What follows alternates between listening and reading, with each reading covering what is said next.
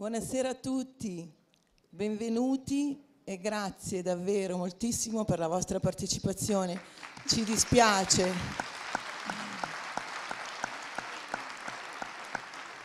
Ci dispiace moltissimo per le persone che sono rimaste fuori, ma per motivi di sicurezza eh, non c'è stato niente da fare. Abbiamo insistito, ma eh, purtroppo è andata così. Comunque ehm, siamo veramente, è bellissima insomma questa sensazione, vedere il teatro Splendor così gremito di persone e soprattutto eh, dimostra l'interesse che c'è eh, nei confronti di questo argomento e del professor Berrino. E, ehm, diamo il benvenuto all'assessore alla sanità e politiche sociali della Valle d'Aosta, eh, e naturalmente il benvenuto al professor Berrino che ringraziamo per la disponibilità e passo subito la parola all'assessore per un saluto e un benvenuto eh, da parte dell'amministrazione regionale.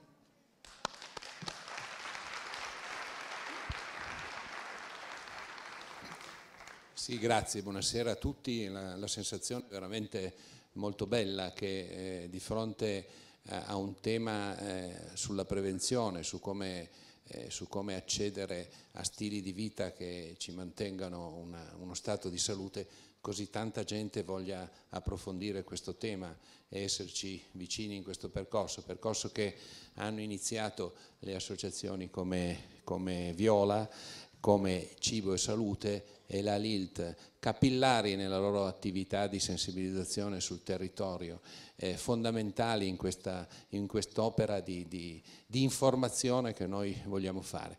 Una sensazione molto piacevole ma con molto rammarico perché ci saranno 300-400 persone fuori, ecco, non avevamo una sala così capiente che, che, che questa, ecco, quindi eh, ci scusiamo per questo fatto e il professore dovrà replicare in un'altra, in un'altra occasione.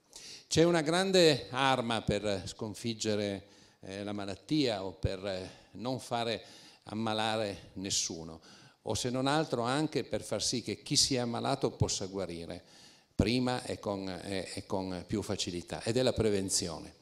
La prevenzione si può intendere in un modo formale, prevenire meglio di curare, eccetera, oppure si può affrontare con una dimensione culturale nuova che veramente la prevenzione, gli stili di vita corretti, la mobilità, il, il muoversi e il fare attività fisica fa sì che eh, le malattie non arrivino.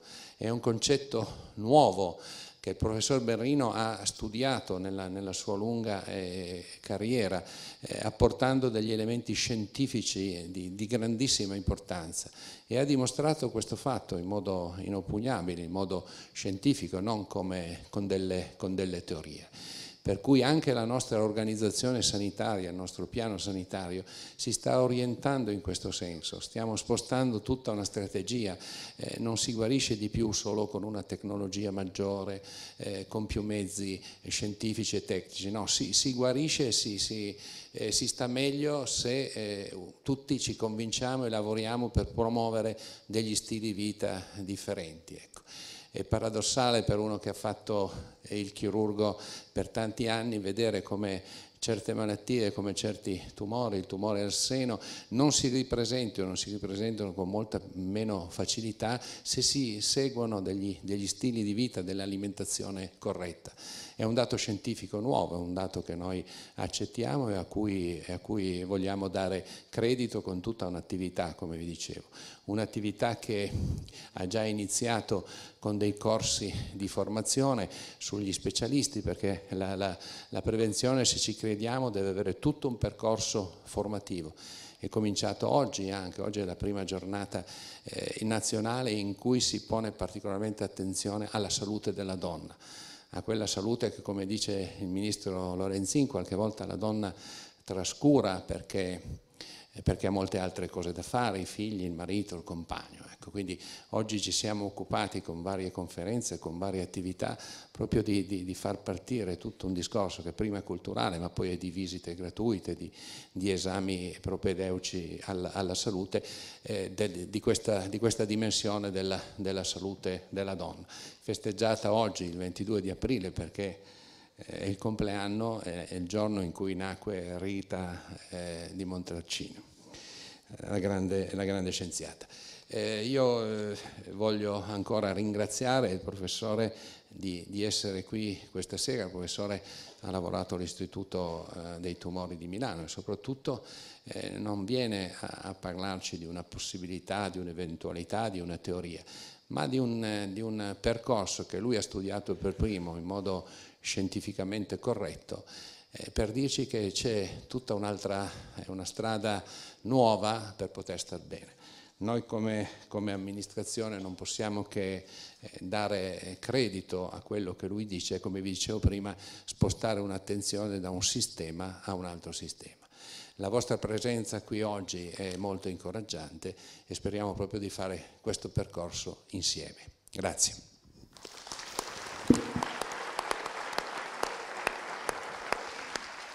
Grazie, grazie Assessore. Eh, ci teniamo anche noi ad esprimere la nostra gratitudine eh, all'assessorato alla sanità e politiche sociali, all'istruzione e cultura, eh, l'assessore Emili Rini, eh, alla rete oncologica Piemonte Valle d'Aosta per la concessione del patrocinio e naturalmente l'azienda USL per la promozione e per l'organizzazione di questo evento e eh, per aver accolto con piacere eh, l'iniziativa proposta dall'Associazione Viola e dall'Associazione Cibo e Salute e alla quale ha aderito eh, e ringraziamo Nadia e lo staff della cooperativa Lopanner che hanno contribuito anche economicamente. E, mh, mi permettete solo un'altra nota di merito che in modo particolare va al dottor Giorgio Galli, a Paola Bocco, a Clara Chiabotto che è la referente in Valle d'Aosta dell'Associazione Cibo e Salute, e a Jenny Giocollè, Cristina Barè e Teresa Cascarano per l'impegno e per il ruolo fondamentale che hanno avuto nell'organizzazione di questa serata. E adesso entriamo nel tema e professore gliel'abbiamo già detto che è un privilegio per noi averla qui, glielo ribadisco. E, beh, anche se lei non ha sicuramente bisogno di presentazione, per noi è un piacere comunque ricordare che è medico, epidemiologo, ha eh, diretto la divisione di epidemiologia dell'Istituto Tumori di Milano, ha promosso lo sviluppo dei registri tumori in Italia e in Europa ed ha organizzato, partecipato ed avviato molti studi eh, internazionali scientifici sull'argomento, tra i quali il progetto Diana, appunto, che studia la correlazione tra abitudini alimentari, stili di vita insorgenza del tumore al seno e delle sue recidive.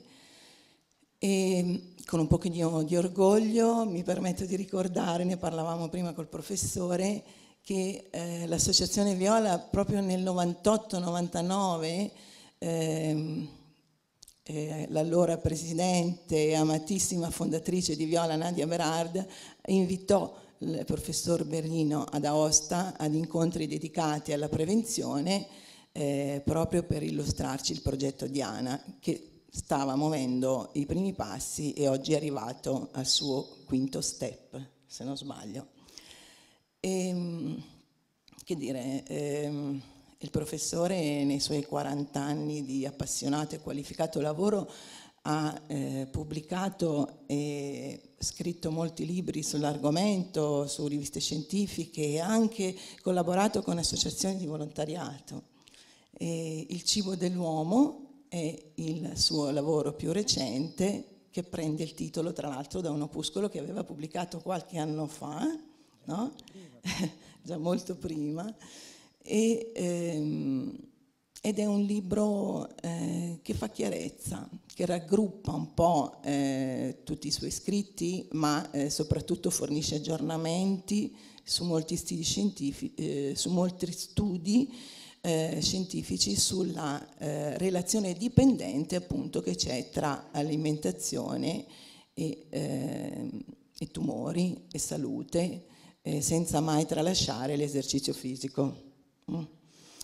E, ehm, e si può definire una bussola mm, con la quale orientarsi in un settore, in un mondo dove regna veramente grande confusione e disorientamento.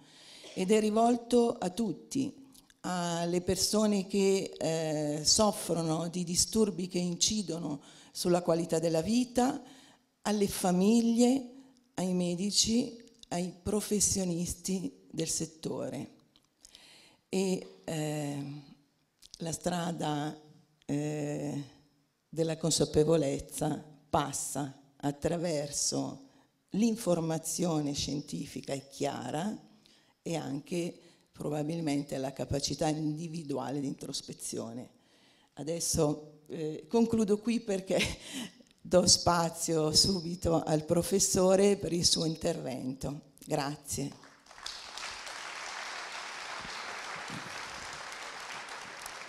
Grazie, un grazie particolare a queste associazioni che mi hanno invitato, Viola e Cibo Salute, per, per l'accoglienza che ho ricevuto. Pensate, mi ospitano in un bed and breakfast qui ad Aosta e lì sono arrivato e ho visto che per colazione domani mattina avrò un pane, un, un pane, un pane vero, cioè non un pane fatto con la farina 00, la farina 0, con il migliorante, un pane fatto con la, con la farina macinata, con, con il grano macinato.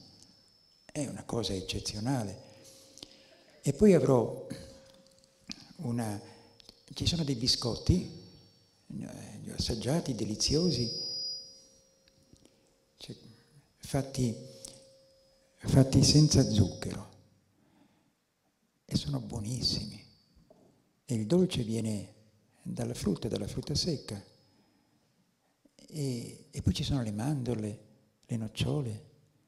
Sapete, le mandorle e le nocciole hanno una proprietà meravigliosa che è quella di rallentare la velocità di assorbimento intestinale del glucosio. Ci sono persone che non le mangiano perché sono grasse e fanno ingrassare. No, no, non preoccupatevi. Le mandorle e le nocciole non vi fanno ingrassare. Beh, se ne mangiate tante, tutto fa ingrassare, ci mancherebbe, eh? ma va bene che ci siano tutti i giorni.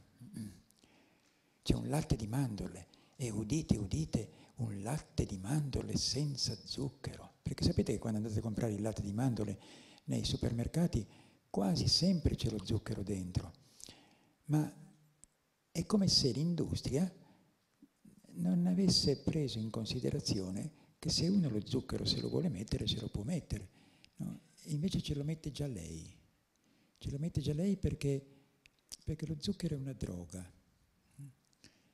È una droga, è proprio, non è una droga proprio che ha una gravità come l'eroina o la cocaina, però attiva esattamente gli stessi centri cerebrali che sono attivati dalla cocaina. No? È difficile eh, eh, cavarsela se, è, se il nostro gusto è avvelenato dallo zucchero.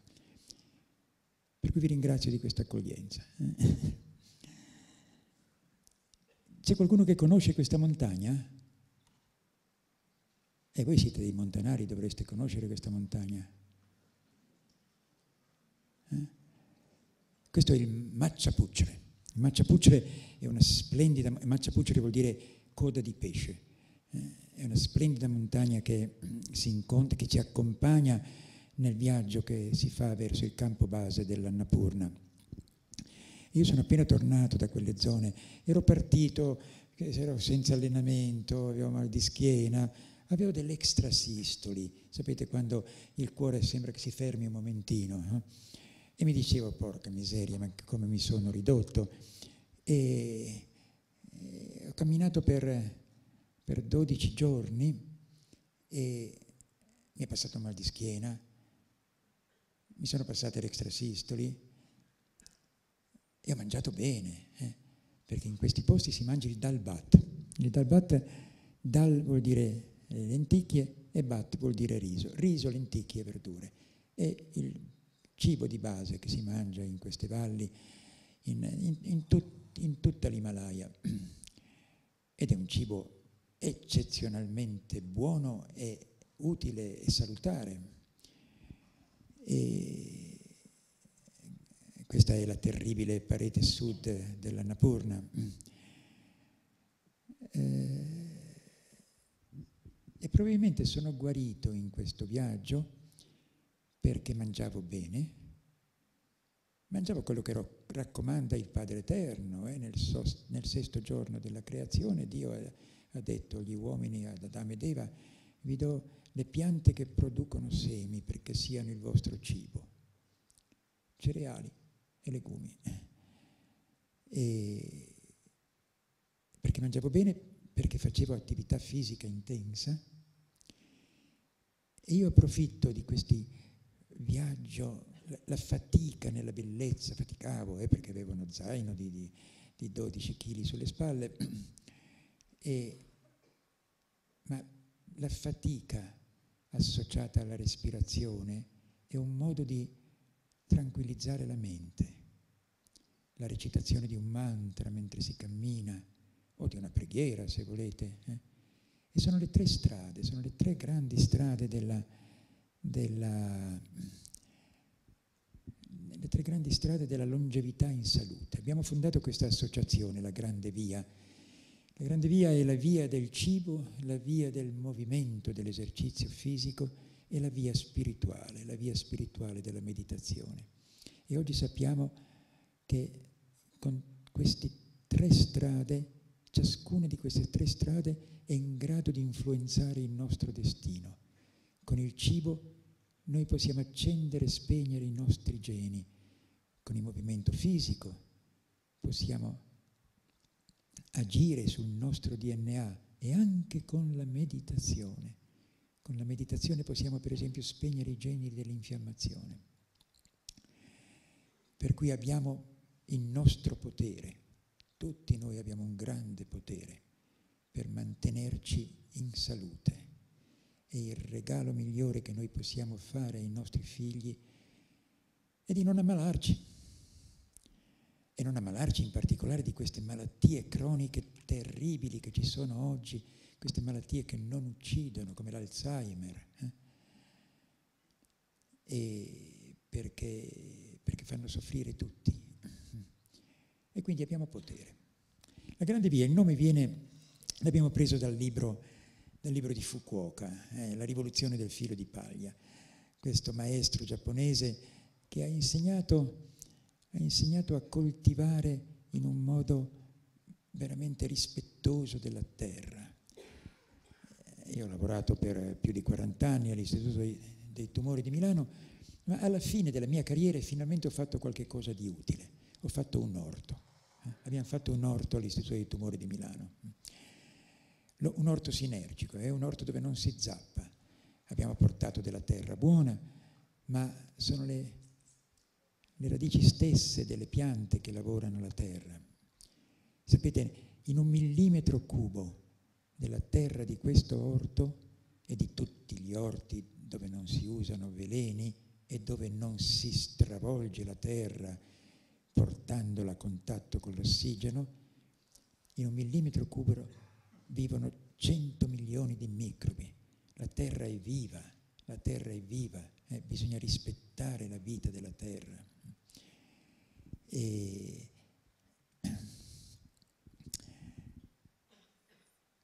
Beh, le montagne non le avete riconosciute, ma almeno queste frasi dovreste riconoscerle.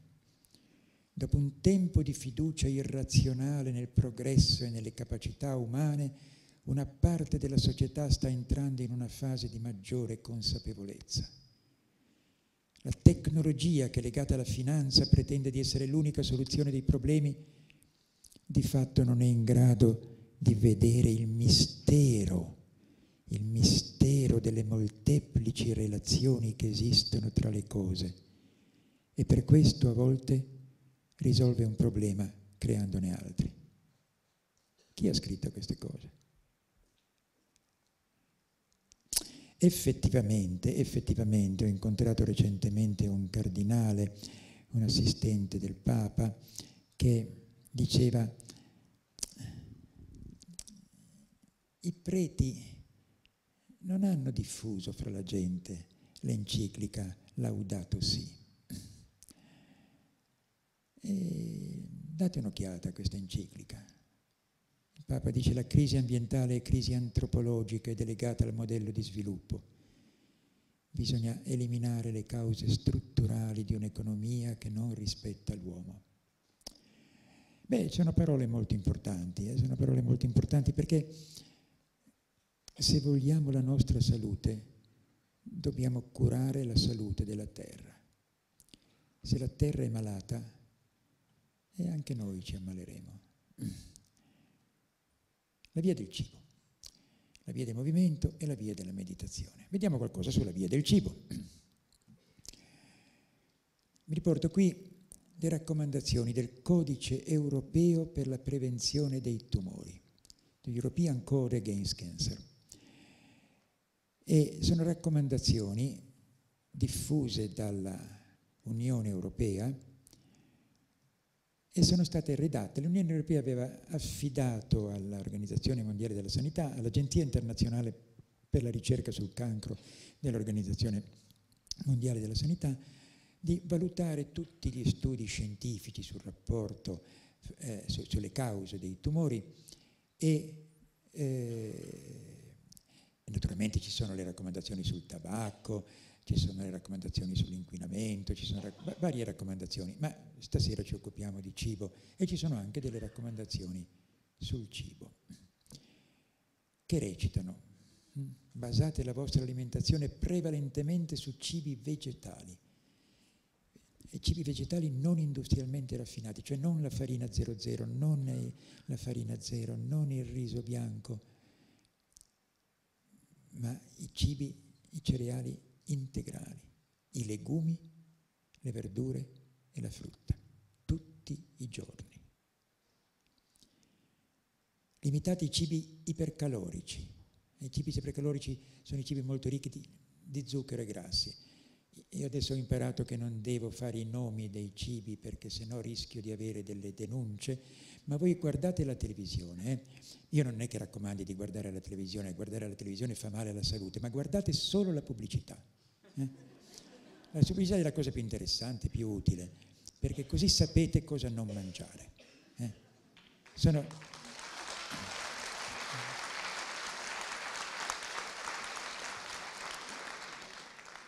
Limitate i cibi che hanno un'alta densità calorica ed evitate le bevande zuccherate. Guardate la differenza tra limitare ed evitare.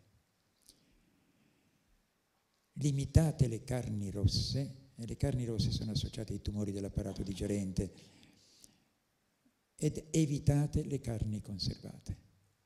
La ragione per cui le carni rosse sono associate ai tumori dell'apparato digerente è che le carni rosse sono molto ricche di ferro. Il ferro della carne, allora ci sono tanti meccanismi con cui la carne può favorire i tumori, ma questo è quello più solidamente dimostrato. Il ferro della carne è molto ossidante e favorisce la sintesi di sostanze cancerogene nell'intestino, le nitrosamine. Nelle carni conservate, nella maggior parte delle carni conservate, le nitrosamine ci sono già perché le carni sono conservate aggiungendo i nitriti, anche se alcuni alcune carni conservate, come per esempio il prosciutto di Parma DOP, nel protocollo di produzione non si usano i nitriti, per cui potrebbe anche essere magari assimilato alle carni eh, fresche. Però nelle carni conservate le sostanze cancerogene ci sono già. Grosso modo, e chi mangia tutti i giorni carni rosse o salumi ha un rischio di ammalarsi che è circa doppio rispetto a chi le mangia raramente di un tumore dell'intestino, di un tumore dello stomaco. Probabilmente più che doppio, però eh, eh, perché, perché, sapete gli studi eh, sul cibo sono abbastanza difficili e noi lavoriamo con dei questionari e gli studi sul tabacco sono stati facili perché se io vi chiedo quante sigarette fumate al giorno, tutti sapete rispondermi di quante sigarette fumate al giorno. Ma se vi chiedo eh, quanta carne rossa consumate al giorno dovete sommare la bistecca, il ragù, i tortellini, il, eh, i salumi, no? è una cosa già più difficile no? quantificare il cibo no? che non quantificare delle abitudini, per cui si fanno degli errori negli studi e gli errori portano, a, se c'è una relazione tra questo cibo e la malattia, portano a, a, a il risultato degli studi troverà una relazione più piccola se c'è una relazione. E poi c'è un commento di, di, andarci piano con il sale, in particolare con i cibi salati, beh, di nuovo i salumi naturalmente, andarci piano con l'alcol, e praticare quotidianamente esercizio fisico e mantenersi snelli. Se voi guardate queste, queste, queste raccomandazioni, vedete che praticamente si tratta della dieta mediterranea tradizionale. Una volta nel sud dell'Italia si mangiavano cereali che una volta erano integrali, quando si macinava il grano a pietra, ma anche qui erano integrali i cereali. Macinando il grano nel mulino a pietra non riesci mica a fare la farina 00. Cereali integrali, i legumi, e tutti i giorni c'erano i legumi. Le verdure, la frutta, la frutta oleaginosa, noci, nocciole, mandorle, nei paesi di mare il pesce e qualche volta un cibo animale. Il cibo animale invece oggi è diventato un cibo quotidiano. Mangiamo carni, formaggi, uova tutti i giorni. In questa eh, diapositiva vi illustro l'analisi del nostro studio, del nostro studio EPIC. Eh. Lo studio EPIC è uno studio in cui abbiamo reclutato 500.000 persone in Europa, in 10 paesi europei, è iniziato all'inizio degli anni 90 che ci hanno dato delle informazioni sulla loro vita, ci hanno dato dei campioni di sangue che conserviamo a bassissima temperatura e noi poi andiamo a confrontare di queste persone chi poi si ammala o, o chi muore di una determinata malattia e, eh, e chi, no, chi aveva la stessa età, lo stesso sesso, le stesse caratteristiche sociologiche e non muore. E andiamo a vedere che differenza c'era per esempio nella loro dieta, nella loro alimentazione fra chi si ammala e chi non si ammala, che, che cosa c'era nel sangue di chi si ammala e non si ammala. È uno studio che ci ha permesso di fare delle osservazioni importantissime e adesso si stanno facendo studi di questo tipo un po' in tutto il mondo. E guardate, ecco, classificando le persone in funzione dell'adesione alle raccomandazioni del codice europeo contro il cancro, vedete come, come si riduce la mortalità, la mortalità totale. Eh? All'aumentare dell'adesione alle raccomandazioni. E chi rispetta cinque raccomandazioni a, parità di sesso e di età muore il 33% in meno. Ed è il, anche più controllando anche per tabacco, no? per, per numerosi altri fattori. Questo è uno studio americano che ha studiato la mortalità per cancro in funzione dell'adesione alle raccomandazioni. E qui vedete chi non aderisce proprio a nessuna sono quegli americani che sono grassi, non fanno mai attività fisica, mangiano schifezze tutti i giorni, no? e, e, però, però, anche confrontando chi, chi, chi, rispetta soltanto una o due raccomandazioni, ris- in rapporto a chi ne rispetta di più, vedete, si dimezza la mortalità. La mortalità per cancro. E verosimilmente si dimezza perché ci si ammala di meno e se ci si ammala si guarisce più facilmente. Questo è un pittogramma cinese che rappresenta, vedete, andando in giro proprio lì nel, nel sentiero per l'Annapurna, ho visto questo portatore che normalmente usano un altro sistema i portatori, però ci sono ancora questi che hanno una canna di bambù sulle spalle a cui sono appesi due, due cesti. È un'immagine molto comune delle, nelle risaie della Cina, non si vedono queste immagini. E ci deve essere un perfetto equilibrio fra questi due cesti. Vedete, questa è la canna di bambù e questi sono i due cesti e questa è l'interazione che ci deve essere, l'equilibrio, la risonanza che ci deve essere fra questi due cesti, che devono essere in perfetto equilibrio per poter intraprendere la via, la strada, la strada del Tao. Questo è il simbolo del Tao. Ed è interessante, eh? tutte le cose del mondo possono essere classificate in termini di energia maschile ed energia femminile, energia riscaldante, energia rinfrescante, energia contraente, energia espansiva. Il, anche gli uomini eh, possono essere eh, classificati così. Eh. Vedete, un uomo molto longilineo, no? uno che ha gli uomini che hanno questa faccia un po' come la mia, e se, se, se mi togliete la barba io ho la faccia fatta come un triangolo, eh, con un vertice in basso. Il, il triangolo con i vertici in basso è il simbolo dell'energia yin, dell'energia femminile. Eh. Il triangolo con la base in basso invece è un simbolo dell'energia maschile, dell'energia molto determinata. Eh. E questa invece è un'energia piuttosto rilassante. Pensate per esempio, pensate Berlusconi. Eh? Berlusconi ha una forma yang, è un triangolo con il vertice in basso. Guardate l'onorevole Fini, vi ricordate dell'onorevole Fini? Eh? Invece lui è proprio, ha una faccia triangolo con, una, con, un vertice in basso, un po' come la mia. Eh? Non ce l'avrebbe mai fatta l'onorevole Fini contro Berlusconi. Eh? Perché questo è... Eh? Ebbene, anche i cibi, anche i cibi si possono classificare in termini di di yin e di yang. E la raccomandazione delle filosofie orientali, per esempio la raccomandazione della macrobiotica, è di cercare un equilibrio fra lo yin e lo yang, perché altrimenti ci squilibriamo, altrimenti non funzioniamo bene.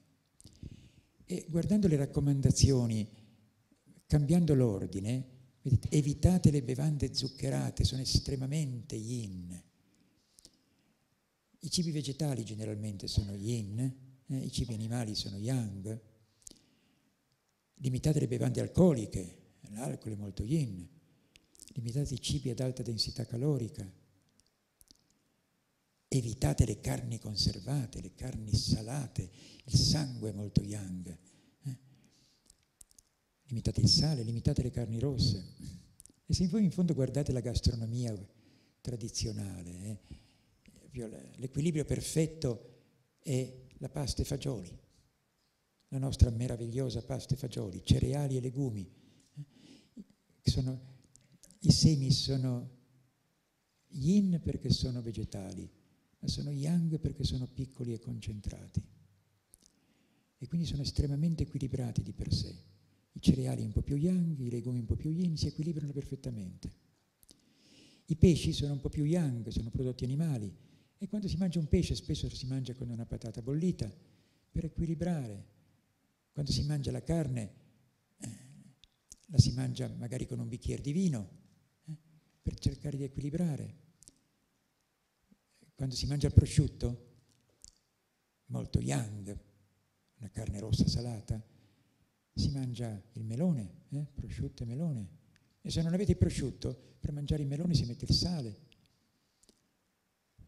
quando si mangia l'arancio, in Sicilia, quando si mangia l'arancio, quando si mangiava l'arancio in Sicilia, si metteva il sale, proprio per equilibrare le energie diverse dei cibi. E, e se voi mangiate l'hamburger di McDonald's, che è una carne rossa molto squilibrata verso lo yang, verso l'energia contraente, e poi scaldata ad altissima temperatura, quindi c'è un doppio yang, e dovete per forza equilibrarla con una Coca-Cola con ghiaccio. Doppio yin. Eh? Sapete quando si va in America, tutte le volte che ordinate da bere, prima vi riempiono il bicchiere di ghiaccio e poi mettono il liquido, perché loro hanno bisogno di ghiaccio. Hanno bisogno di ghiaccio perché mangiano un'enorme quantità di carni rosse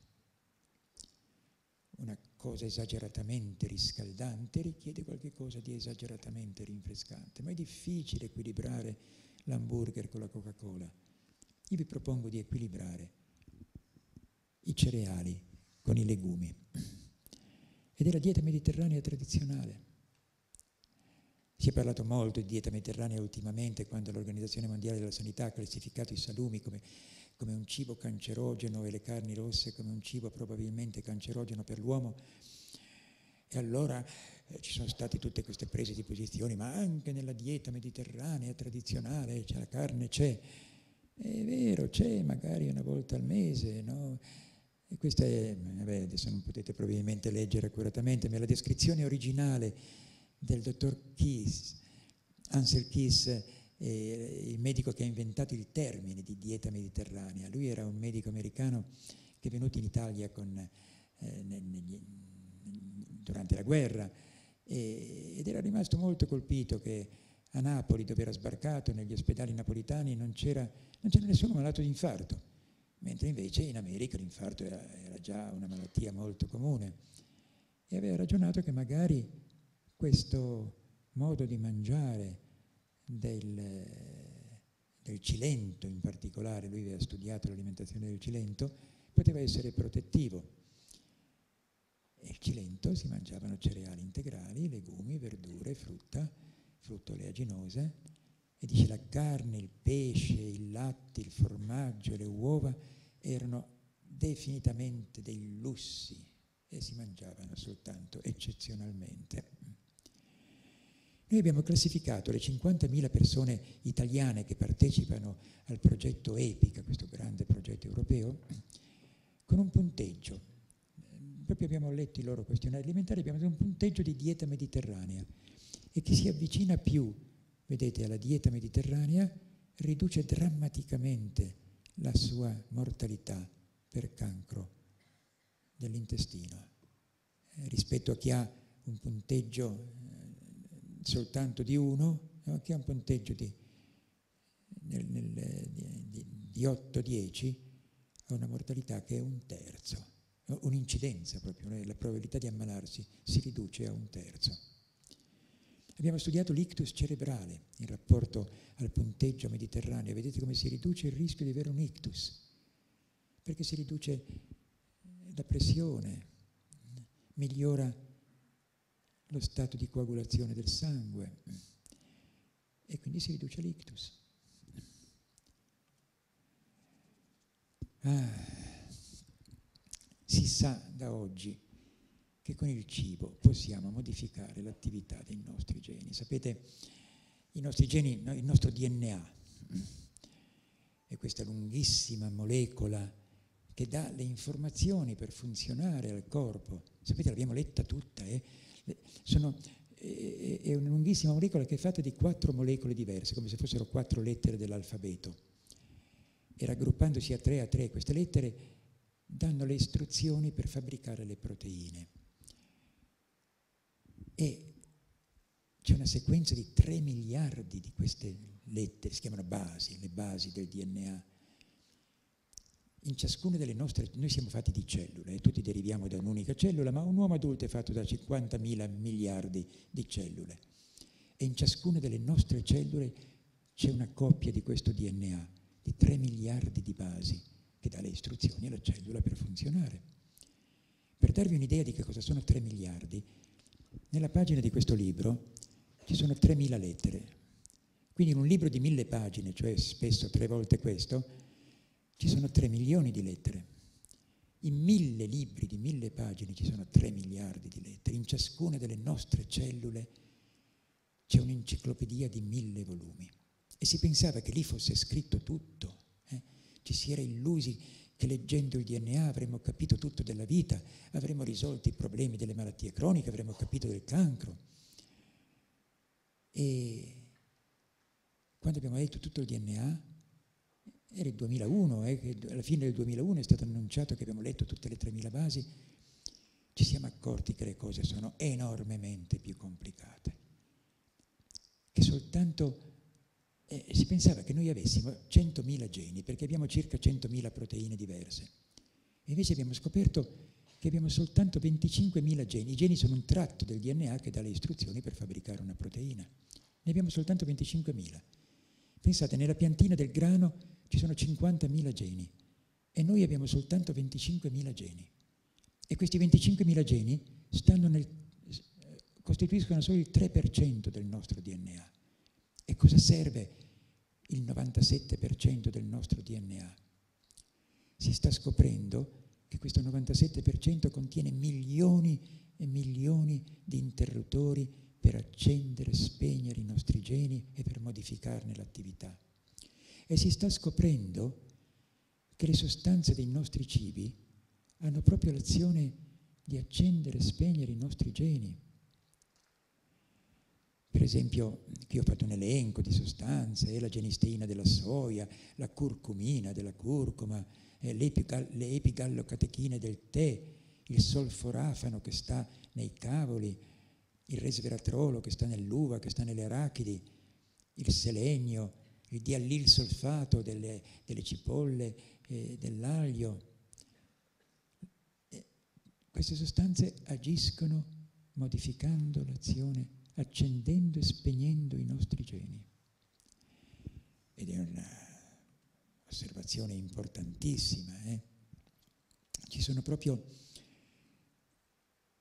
I, I, geni possono essere spenti attraverso la metilazione. Attacchiamo un metile a, a, alle basi del DNA e il gene non viene letto.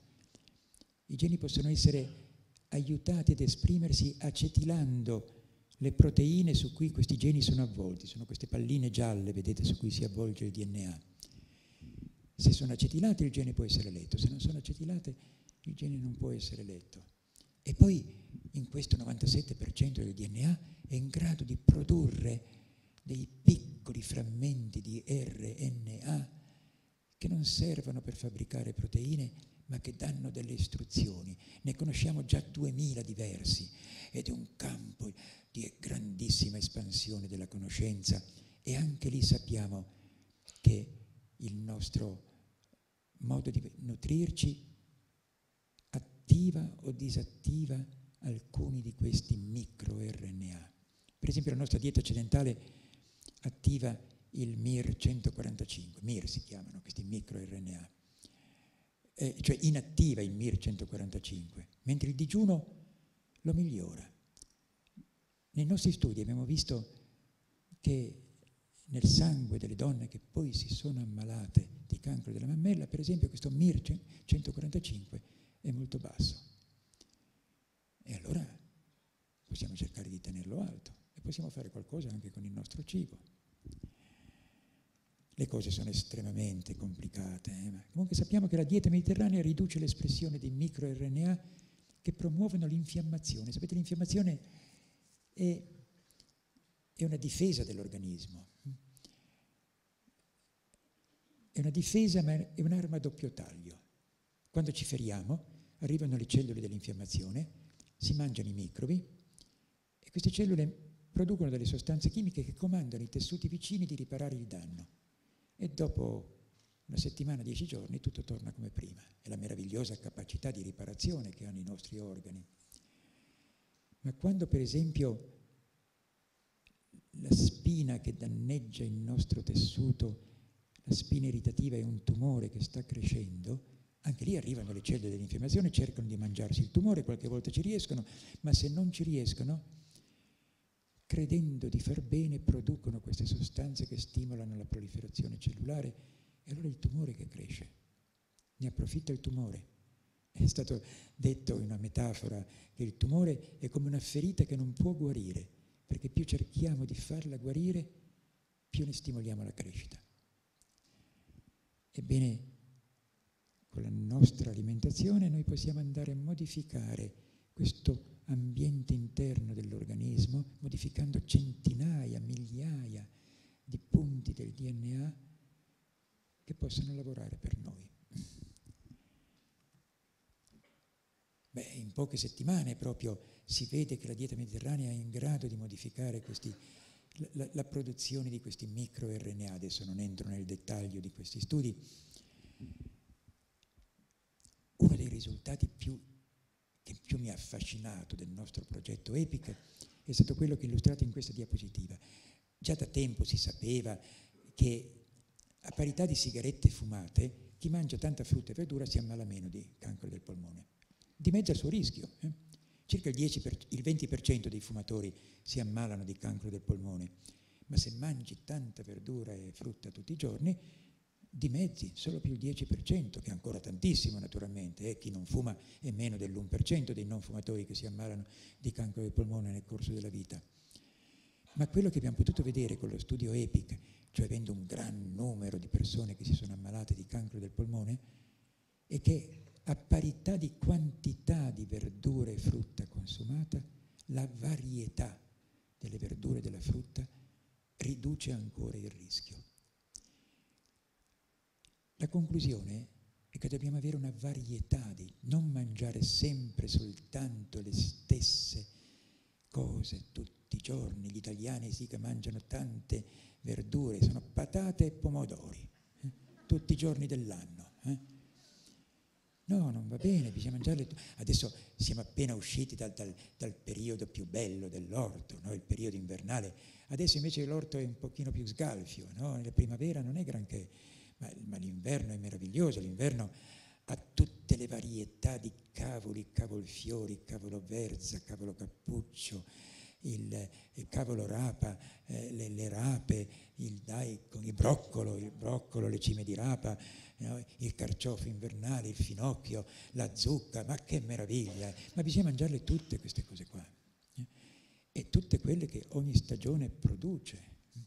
La varietà è estremamente importante, perché se noi mangiamo vario, noi siamo sicuri che non ci manca niente e che non abbiamo troppo di qualche cosa. Sapete che ci sono queste intolleranze alimentari. Eh? C'è un sacco di gente che soffre di intolleranze alimentari. Ma cosa cavolo sono queste intolleranze alimentari? La scienza medica non ha ancora capito niente in queste intolleranze alimentari, però è vero che ci sono delle persone che stanno male perché mangiano. E in genere a che cosa siamo intolleranti? I due cibi a cui siamo più frequentemente intolleranti sono il glutine, cioè i cibi ricchi di glutine, perché lo mangiamo tutti i giorni mangiamo tutti i giorni il pane, tutti i giorni la pasta. E il pomodoro, perché lo mangiamo tutti i giorni. E allora l'organismo ti dice, eh basta, datti una regolata. Infatti queste persone tolgono il glutine e tolgono il pomodoro per un po' e stanno subito bene. Dobbiamo avere una varietà di cibi, cambiare. La via del movimento è anche la via del cambiamento. E cito queste due frasi di due grandi ricercatori, Claude Bernard nel secolo scorso, quel che pensiamo di conoscere il grande ostacolo all'acquisizione di quel che non sappiamo ancora. E Jim Watson, che è stato quello che ha scoperto la struttura del DNA nel 1953, ha pubblicato il suo articolo, 60 anni dopo dice il più grande ostacolo per procedere efficacemente contro il cancro può venire dalla natura inerentemente conservatrice delle istituzioni di ricerca sul cancro, che non vogliono, eh, perché lui, lui ha detto il DNA, la conoscenza del DNA ci ha permesso di capire molti meccanismi del cancro, ma non ci porterà ad una cura del cancro quando il cancro è avanzato, quando il cancro ha dato metastasi. Ci sono dei nuovi farmaci che hanno successo, che prolungano la vita, ma che non guariscono. in questi anni di ricerca io, io, ho concluso di dare queste raccomandazioni ai malati di tumore. E c'è ancora una grandissima resistenza nell'ambiente medico, perché? perché noi medici siamo profondamente ignoranti sull'alimentazione, non la studiamo a scuola. Io prendo sempre in giro i gastroenterologi. No? I gastroenterologi studiano sei anni di medicina e poi cinque anni di specializzazione in gastroenterologia. Sanno tutto, sanno usare dei farmaci potentissimi e in questi 11 anni di scuola non hanno neanche un'ora di lezione sul cibo. Perché cosa c'entra il cibo con l'apparato gastroenterico? Eh? E non sanno dare consigli alimentari fondamentalmente. Allora cosa diciamo noi ai malati di cancro? Diciamo di tenere bassa la glicemia nel sangue.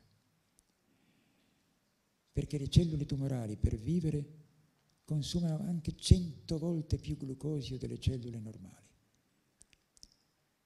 Perché non, sapete, tutte le nostre cellule vivono bruciando glucosio. Glucosio più ossigeno, anidride carbonica, acqua ed energia. In tutte le nostre 50.000 miliardi di cellule quotidianamente bruciamo glucosio. Le cellule tumorali invece non lo bruciano completamente, lo spezzano solo in due. E invece di produrre con una molecola di glucosio 36 unità di energia, producono solo due unità di energia. Quindi hanno bisogno di un'enorme quantità di glucosio. E fanno questo perché vogliono utilizzare i pezzi della molecola di glucosio per costruire nuove cellule. costruire nuove proteine, nuovi grassi. E noi sappiamo che chi ha la glicemia bassa si ammala meno di cancro.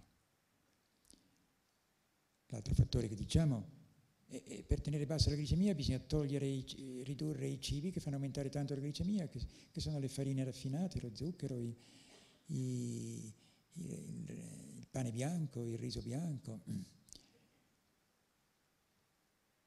Raccomandiamo di tenere bassa l'infiammazione e per tenere bassa l'infiammazione bisogna ridurre le, il cibo animale, eccetto il pesce, perché i grassi dei, delle carni favoriscono, contengono i precursori delle molecole dell'infiammazione.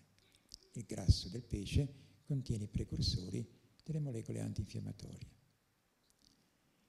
E bisogna tenere bassi nel sangue anche i fattori di crescita, quindi i fattori che stimolano, i fattori che fanno crescere i bambini, sapete? Quando non ci sono proteine da mangiare i bambini non crescono, le proteine ci vogliono nella nostra vita, ma noi ne mangiamo troppe, ne mangiamo circa il doppio delle proteine di cui abbiamo bisogno. È meglio ridurre le proteine, in particolare le proteine del latte. Le proteine del latte fanno aumentare, il latte è un alimento per far crescere. E quindi io prudenzialmente raccomando ai malati di tumore di non bere latte. Proprio nel 2002 abbiamo pubblicato per la prima volta questa osservazione di come aumenti il rischio di cancro della mammella in funzione della glicemia. Le donne che hanno la glicemia alta, ma all'interno dei valori normali, eh, sapete la glicemia sta fra 70 e 110, i valori normali sono.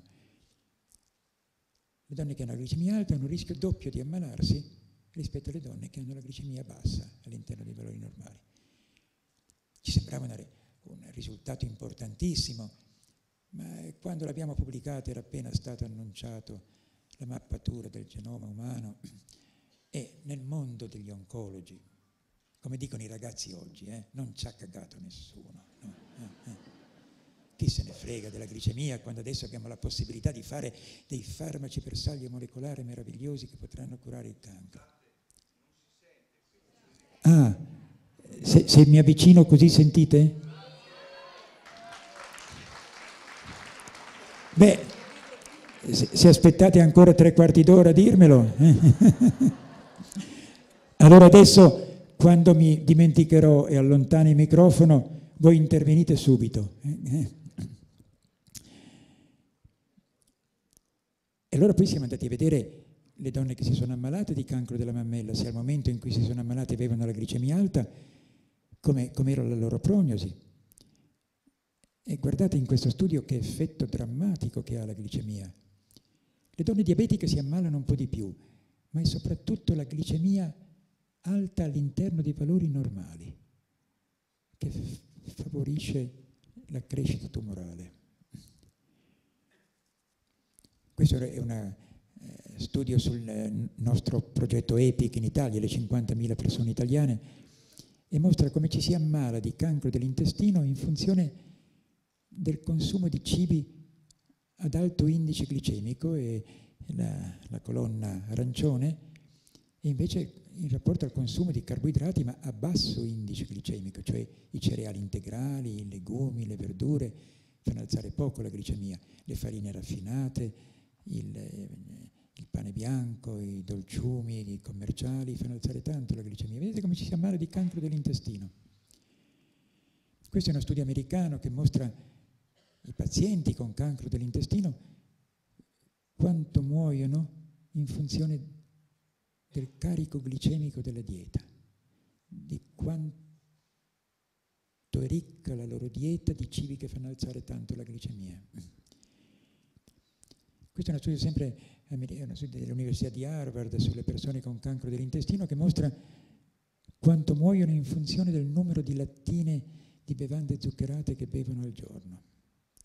Quindi ci sono sempre più dati che mostrano che bisogna stare attenti agli zuccheri, agli zuccheri che fanno alzare tanto la glicemia.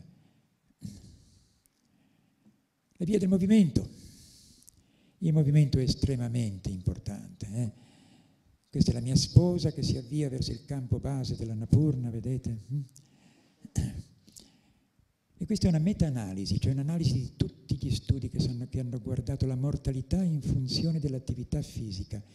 E vedete come si riduce progressivamente la mortalità abbassando, eh, eh, cioè aumentando l'attività fisica. Qui siamo già semplicemente con...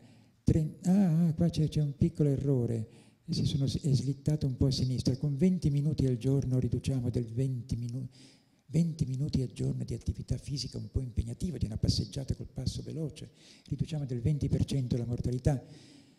Se facciamo tra 30 minuti e un'ora, riduciamo del 30% la mortalità. Ma alla fine moriamo tutti, eh? ma vuol dire a, a, a, a parità di età, no? a quell'età muori 30% in meno. E poi aumenta ancora la protezione con, qui siamo fra fra 60 e 90 minuti, qui siamo oltre 90 minuti e qui siamo a 300 minuti. Poi magari, magari non è significativa la differenza, ma forse è bene non esagerare, insomma. Quindi questa strada per il campo base dell'Annapurna dove facevo eh, 5, 6, 7 ore di cammino al giorno, va bene farlo per 10 giorni, ma non, eh, non eh. E, però 20 minuti al giorno, 30 minuti al giorno di sport. E dici, ma io non ho tempo. Ma passi delle ore a guardare la partita alla, alla televisione. Eh? E valla a fare tu la partita. La gente mi dice, ma io non ho tempo di cucinare. E poi mi guardano tutti i programmi televisivi del, del cuoco, del, del, eh, del, del master chef, di queste cose qua. No, no, tutti abbiamo 30 minuti al giorno per fare, poi voi siete anche facilitati qui a Osta rispetto a noi a Milano.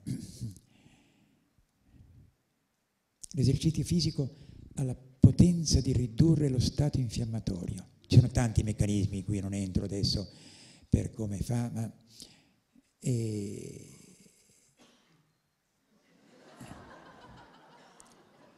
Abbiamo mandato il Davide negli Stati Uniti per una mostra, guardate come ce l'hanno restituito. Ce l'hanno restituito con la pancia, con la pressione alta, con i trigliceridi alti, con la glicemia alta e con il colesterolo buono basso. Sono i fattori della sindrome metabolica. Eh? Sapete, eh, questo è il nostro studio EPIC, anche eh, siamo andati a vedere quanto muoiono i grassi, quanto muoiono i magri. E questa è la mortalità in funzione dell'indice di massa corporea. L'indice di massa corporea si calcola dividendo il peso in chilogrammi per l'altezza al quadrato. Per esempio un ragazzo che pesa 100 kg ed è alto 2 metri, voi fate 100 diviso 2 al quadrato, 100 diviso 4, indice di massa corporea 25. 25 è il limite fra il normopeso e il sovrappeso. Chi è più di 25 è in sovrappeso, chi è più di 30 è obeso. E guardando la mortalità è venuto fuori questa cosa che non, non, io non mi aspettavo così netta, che la mortalità più bassa sia negli uomini sia nelle donne è chi ha un indice di massa corporea di 24-25. E io che ho un indice di massa corporea di circa 20, eh, per portarmi qua dovrei mettere su 10 kg, ma eh, non mi sembra che sia una cosa corretta mettere su 10 kg. Eh, poi naturalmente poi quando si ingrassa il rischio è maggiore. Ma cos'è questa storia che questi magri, magri, magri, questi snelli come me, muoiono come i grassi che hanno un indice di massa corporea di 33? In realtà tutto è spiegato dal fatto che chi muore tanto fra i magri sono i magri con la pancia. Perché se noi guardiamo la mortalità in funzione della circonferenza vita, a parità di indice di massa corporea, naturalmente chi è grande ha una grande circonferenza vita, chi è piccolo ha una piccola circonferenza vita, ma a parità di indice di massa corporea, la mortalità cresce linearmente con la circonferenza vita. E questo proprio perché chi muore di più sono i magri ma che hanno la pancia. E chi muore, chi muore tanto come i grassi veri. Questa è la mortalità per cancro, sono i grandi studi dell'Università di Harvard su 100.000, anzi adesso sono, sono, sono 160.000 infermiere americane che seguono ormai da, da, da, sono quasi 40 anni che hanno cominciato questo studio. Guardate la mortalità per cancro in funzione della circonferenza vita, a parità di indice di massa corporea.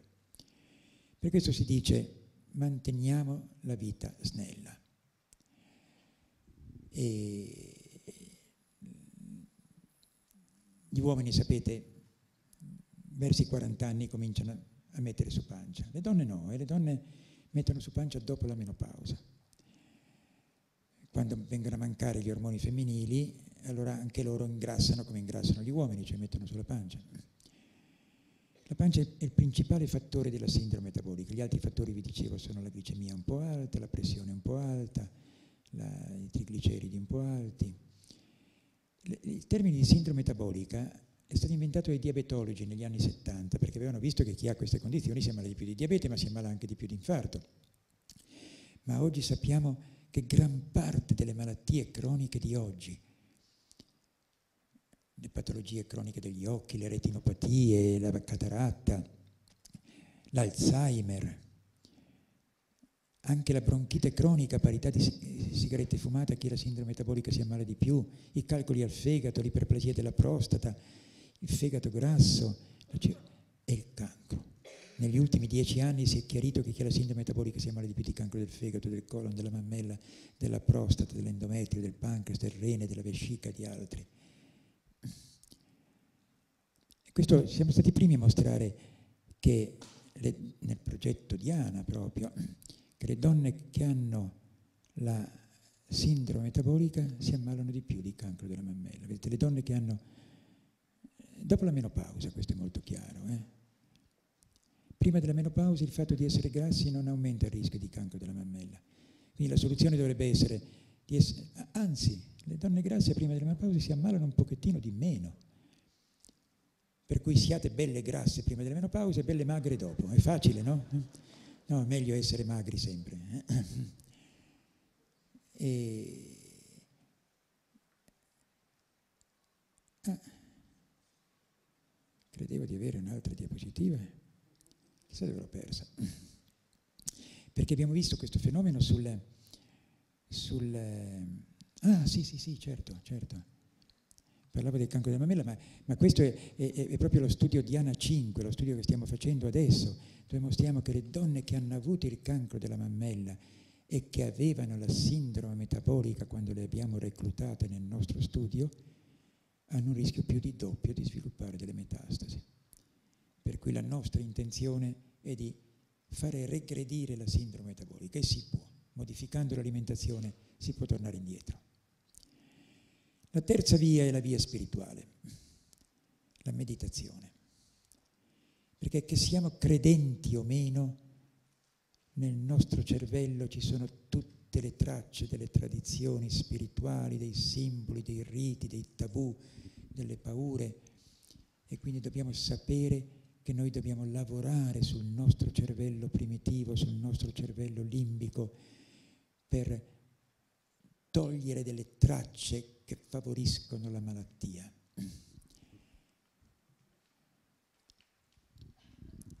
In questa diapositiva vi mostro le tecniche che ci sono oggi per analizzare i nostri geni.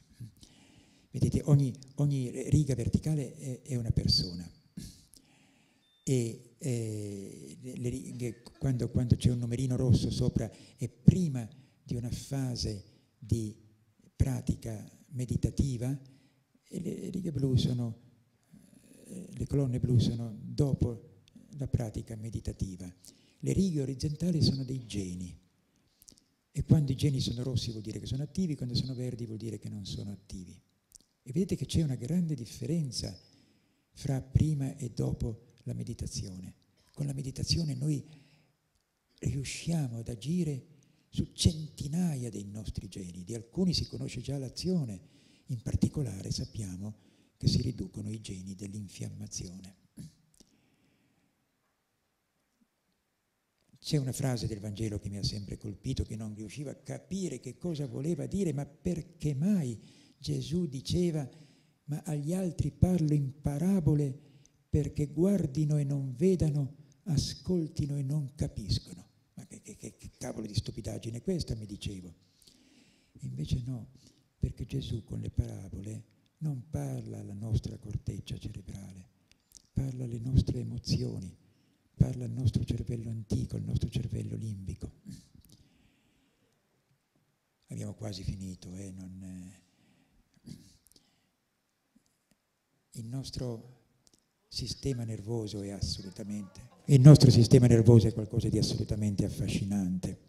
E qui volevo illustrarvi il meccanismo dello stress cronico. Sapete, lo stress è una difesa dell'organismo, è quando usciamo di casa e incontriamo l'orso e ci viene un terribile stress eh, e questo attiva il nostro sistema simpatico e il nostro sistema simpatico attiva il cuore, attiva i polmoni, eh, blocca tutte le attività digestive, eh, blocca tutte le cose che non servono, mette, comanda il fegato di mettere zucchero nel sangue perché abbiamo bisogno di zucchero nel sangue per scappare. Ma oggi però lo stress ci viene non perché incontriamo l'orso, ma perché incontriamo il il capo ufficio tutti i giorni nel, no, e ci fa venire un grande stress, no? perché, perché, ci sono tanti fattori e allora lì eh, noi ci troviamo con questo stimolo di stress che non riusciamo a smaltire con una bella corsa. Eh? Non possiamo prendere a pugni il capo ufficio. Eh? E questo stress cronico ha un effetto di stimolare cronicamente il nostro sistema simpatico e il sistema è molto bello proprio perché è di una complessità estrema e lo stress inibisce la corteccia prefrontale, ma la corteccia prefrontale ha la funzione di inibire l'amigdala, allora l'amigdala è molto attiva, l'amigdala ha la funzione di inibire il tratto solitario, così il tratto solitario non è più attivo, ma il tratto solitario inibisce il sistema simpatico, così il sistema simpatico è costantemente molto attivo. E se è molto attivo, siamo sempre in tensione. Dobbiamo attivare invece il nervo vago, è un nervo che esce dal nostro cervello e che va a tranquillizzare tutti i nostri organi. E in particolare l'attivazione del sistema simpatico, l'insufficienza del sistema parasimpatico favorisce l'infiammazione, che è uno dei grandi meccanismi, l'infiammazione cronica, che favorisce lo sviluppo dei tumori.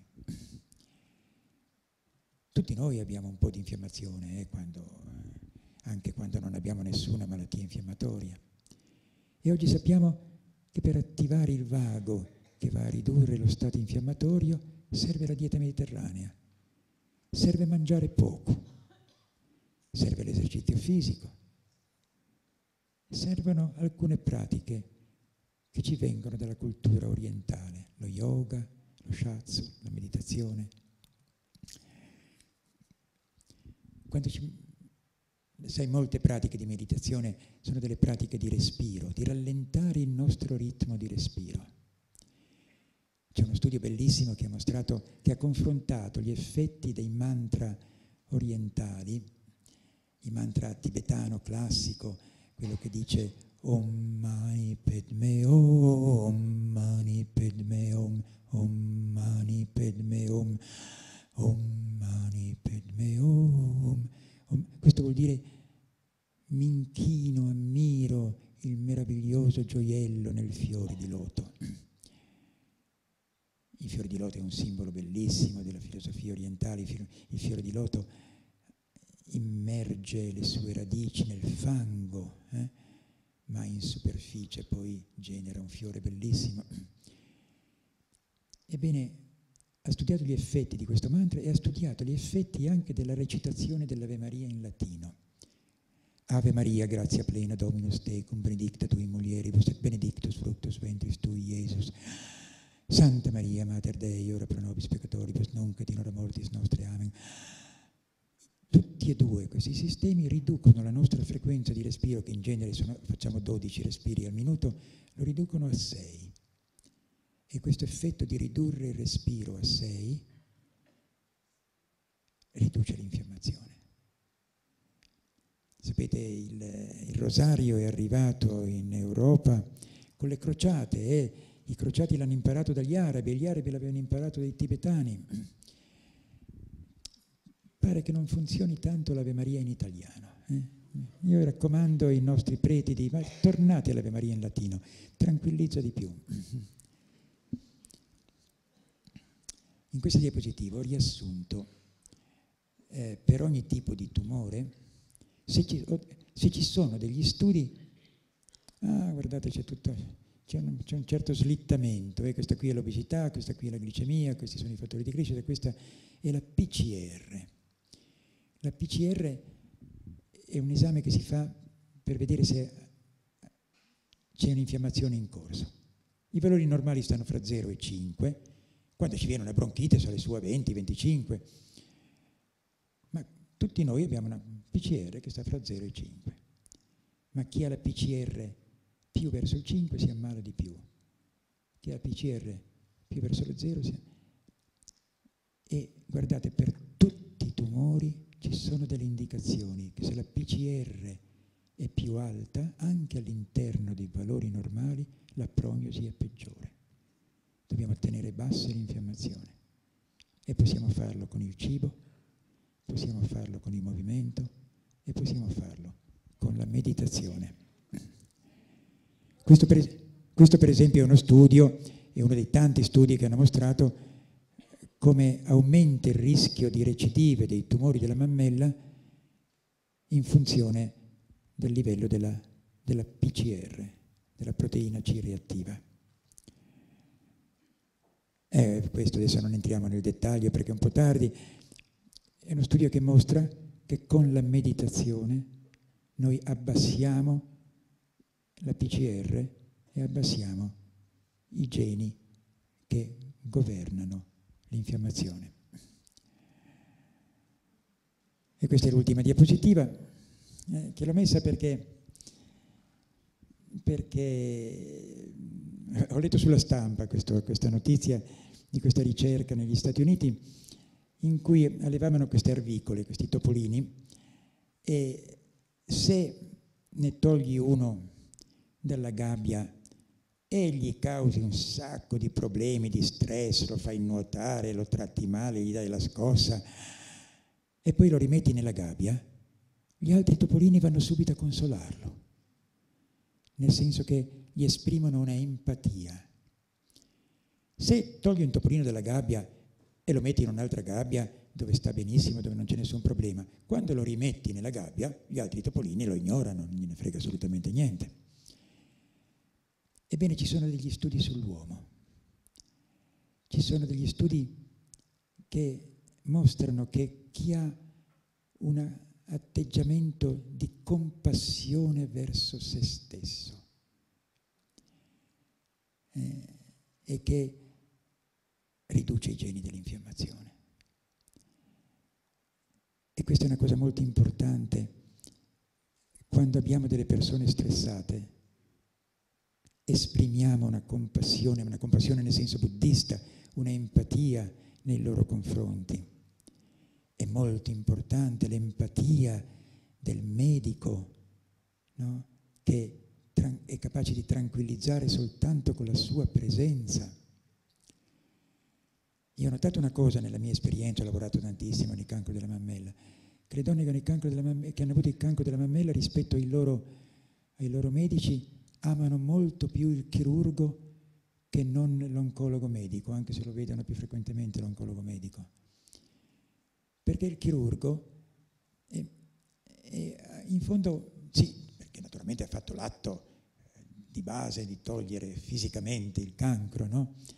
ma perché il chirurgo in genere ha un atteggiamento molto positivo, molto consolatorio, io ti guarisco, qualcosa del genere, no? ha un sorriso, ha una cosa che... Mentre l'oncologo medico, che è sempre lì in mezzo a un sacco di problemi, in genere ha una faccia un pochino più, più triste, no? Ed è, eh? l'empatia è importantissima per la guarigione. E l'empatia la possono dare i medici, la possono dare i familiari, la possono dare, è un enorme, meraviglioso ruolo degli infermieri. Va bene, scusate, io sono un grande chiacchierone, ho parlato per, per, per un'ora buona e forse è bene che la smetta eh? e vi ringrazio dell'attenzione.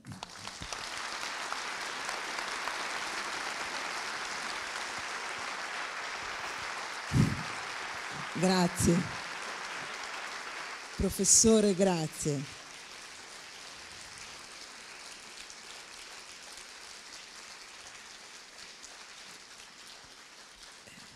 Noi l'avremmo ascoltata ancora per un'altra ora, ma capiamo. E è stato un intervento naturalmente affascinante e credo che abbia eh, stimolato eh, parecchia curiosità e, e, spunti per fare delle domande. Quindi eh, iniziamo a fare delle domande e pregherei Jenny e Cristina di girare col microfono se ce l'avete. Sì.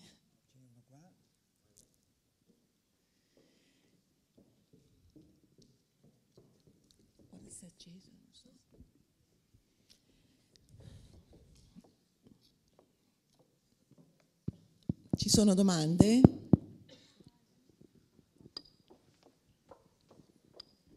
Sì, buonasera. La, mh, mm, la, mia domanda era questa, relativamente ai cereali integrali. Allora, i cereali integrali hanno il problema che se eh, diciamo, vengono coltivati eh, mantenendo dei residui diciamo, di eh, fitochimici, finiamo per mangiarceli, insomma. Eh, questi studi fatti eh, contemplavano dei eh, cereali integrali biologici piuttosto che invece insomma, tradizionali? No, no, non, non, è, non, ci sono di fatto degli studi che hanno considerato eh, il confronto fra mangiare cibo biologico e non biologico. E sono pochissime le persone che mangiano cibo biologico e il, ehm, eh, per cui il nostro ragionamento sul, sui rischi da pesticidi è in gran parte un ragionamento di estrapolazioni. Noi sappiamo che, che i contadini si ammalano di più di cancro. Non sappiamo quanto i residui dei pesticidi nel nostro cibo aumenti il nostro rischio. C'è un unico studio che io conosca che ha cercato di valutare questo nella popolazione generale. Ed è lo studio, il cosiddetto studio del Million Women, del, del, del milione di donne inglesi che eh, vanno a fare la mammografia periodicamente e è, che hanno compilato un questionario sul, e il questionario comprendeva anche delle, delle, delle domande sul fatto se lei mangia abitualmente eh, cibo biologico, sempre, qualche volta, mai ma era una piccola proporzione di queste donne inglesi che mangiavano regolarmente cibo biologico.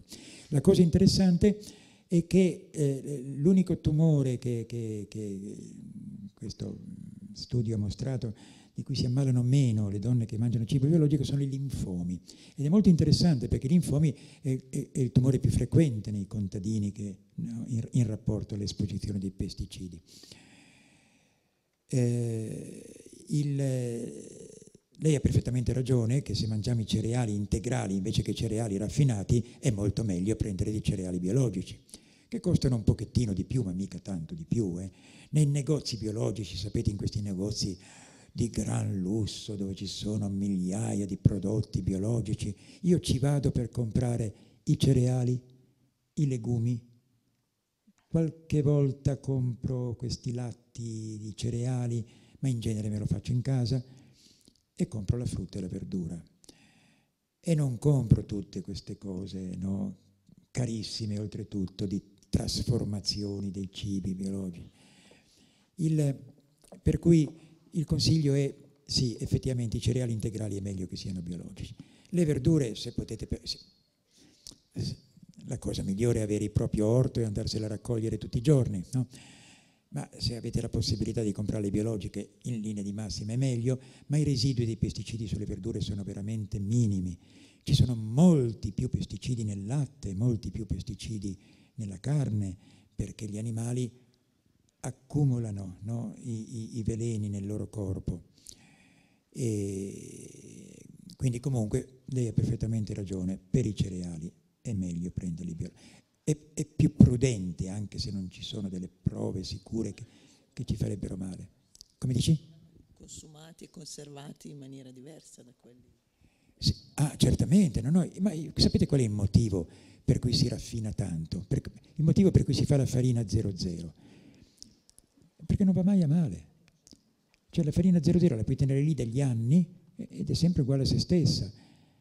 Se, se la farina integrale dopo, dopo un mese o due ti fa le farfalline, ma nessuna farfallina sarebbe così stupida da andare a mettere le sue uova nella farina 00 o nel riso bianco. Il riso bianco non va mai a male, ma il riso integrale va male, ti fa i vermi. Eh? Per cui eh, eh, i cereali integrali devono essere conservati, eh, com, com, devono essere consumati rapidamente e quindi questo è un grosso problema per l'industria, per la distribuzione, no? perché eh, rischia di andare male delle derrate alimentari. No? E, è solo per questo che mangiamo i cibi raffinati, non, non, certo perché sono più buoni, sono molto più buoni i cibi integrali. Mm. Buonasera, io volevo fare una domanda e poi una considerazione. La domanda è cosa ne pensa del, dell'assunzione di alimenti, di sali minerali di bicarbonato, possibilmente senza sodio, quindi questi sali minerali alcalinizzanti. E la considerazione che invece volevo fare è sulla prevenzione, quindi legata alle scuole. Se la prevenzione deve partire dalle scuole e i menù sono quelli che ci sono oggi, io da mamma faccio una grandissima fatica a eh, continuare a far mangiare mia figlia in modo sano quando lei mi dice questo riso è duro, la verdura non gli piace, perché finché non è andata a scuola per lei le caramelle erano l'uva passa. Adesso no. È molto importante questa, questa osservazione. Allora, vi, vi, la, la, la, la, mia associazione, assieme all'associazione L'Ordine dell'Universo, hanno proposto questo, eh, eh, questo movimento che si chiama Coordinamento Cambiamo le Mense. Se voi andate www.coordinamento Cambiamo la Mensa, trovate tutta una serie di indicazioni eh, da utilizzare per fare pressione sulle amministrazioni eh, del, delle ASL, dei comuni, delle scuole, no? per modificare la mensa dei bambini a scuola. Eh, la, dove ci sono alcune cose che sono veramente importantissime. Una è quella di togliere le carni conservate. Ma io dico che si possono anche mangiare le carni conservate, però eh, l'Organizzazione Mondiale della Sanità ha stabilito sulla base di, di, di ricerche inconfutabili che favoriscono i tumori.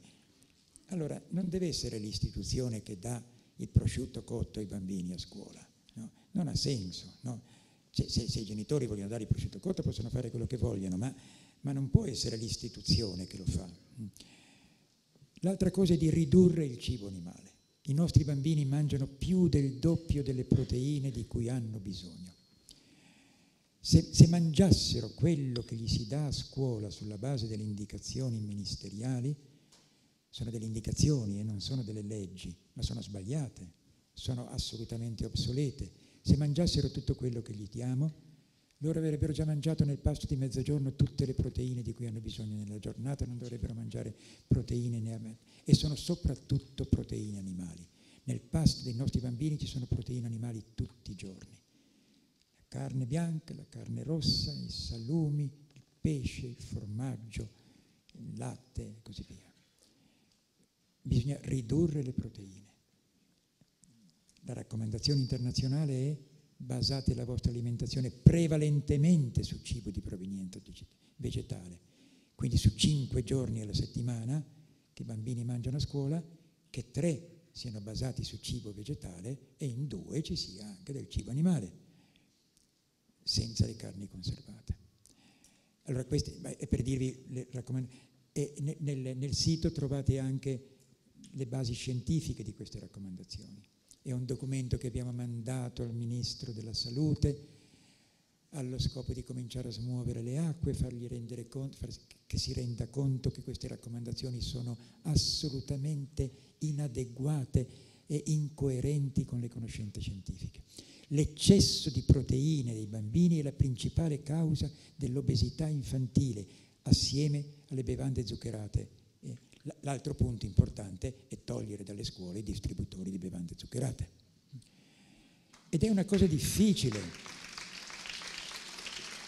Il preside di una, una scuola, un mio vecchio compagno di scuola, mi invita a fare una conferenza al suo liceo, gli dico ma, ma c'hai i distributori delle bevande zuccherate, allora toglile e così io vengo a fare la conferenza. E dice ma questa è l'unica fonte che ci dà un po' di soldi per poter fare delle iniziative didattiche. Ma è possibile che le nostre iniziative didattiche debbano dipendere dai, da, da, dalle multinazionali delle bevande zuccherate? No? E, eh, quindi questo è l'altro passo importantissimo. E poi ci sono altre cose, naturalmente sarebbe importante che il cibo sia biologico, ma, ma, ma, ma questo, quindi eh, eh, questo coordinamento si sta diffondendo un po' in tutto il paese, abbiamo dei piccoli coordinatori regionali anche, e andate sul sito www.cambiamolamensa.it. L'altra domanda che mi hai fatto è per quanto riguarda eh, la alcalinizzazione del nostro corpo. E beh, sapete, eh, effettivamente abbiamo un'alimentazione molto acidificante, che mette a dura prova i nostri reni e le nostre ossa soprattutto.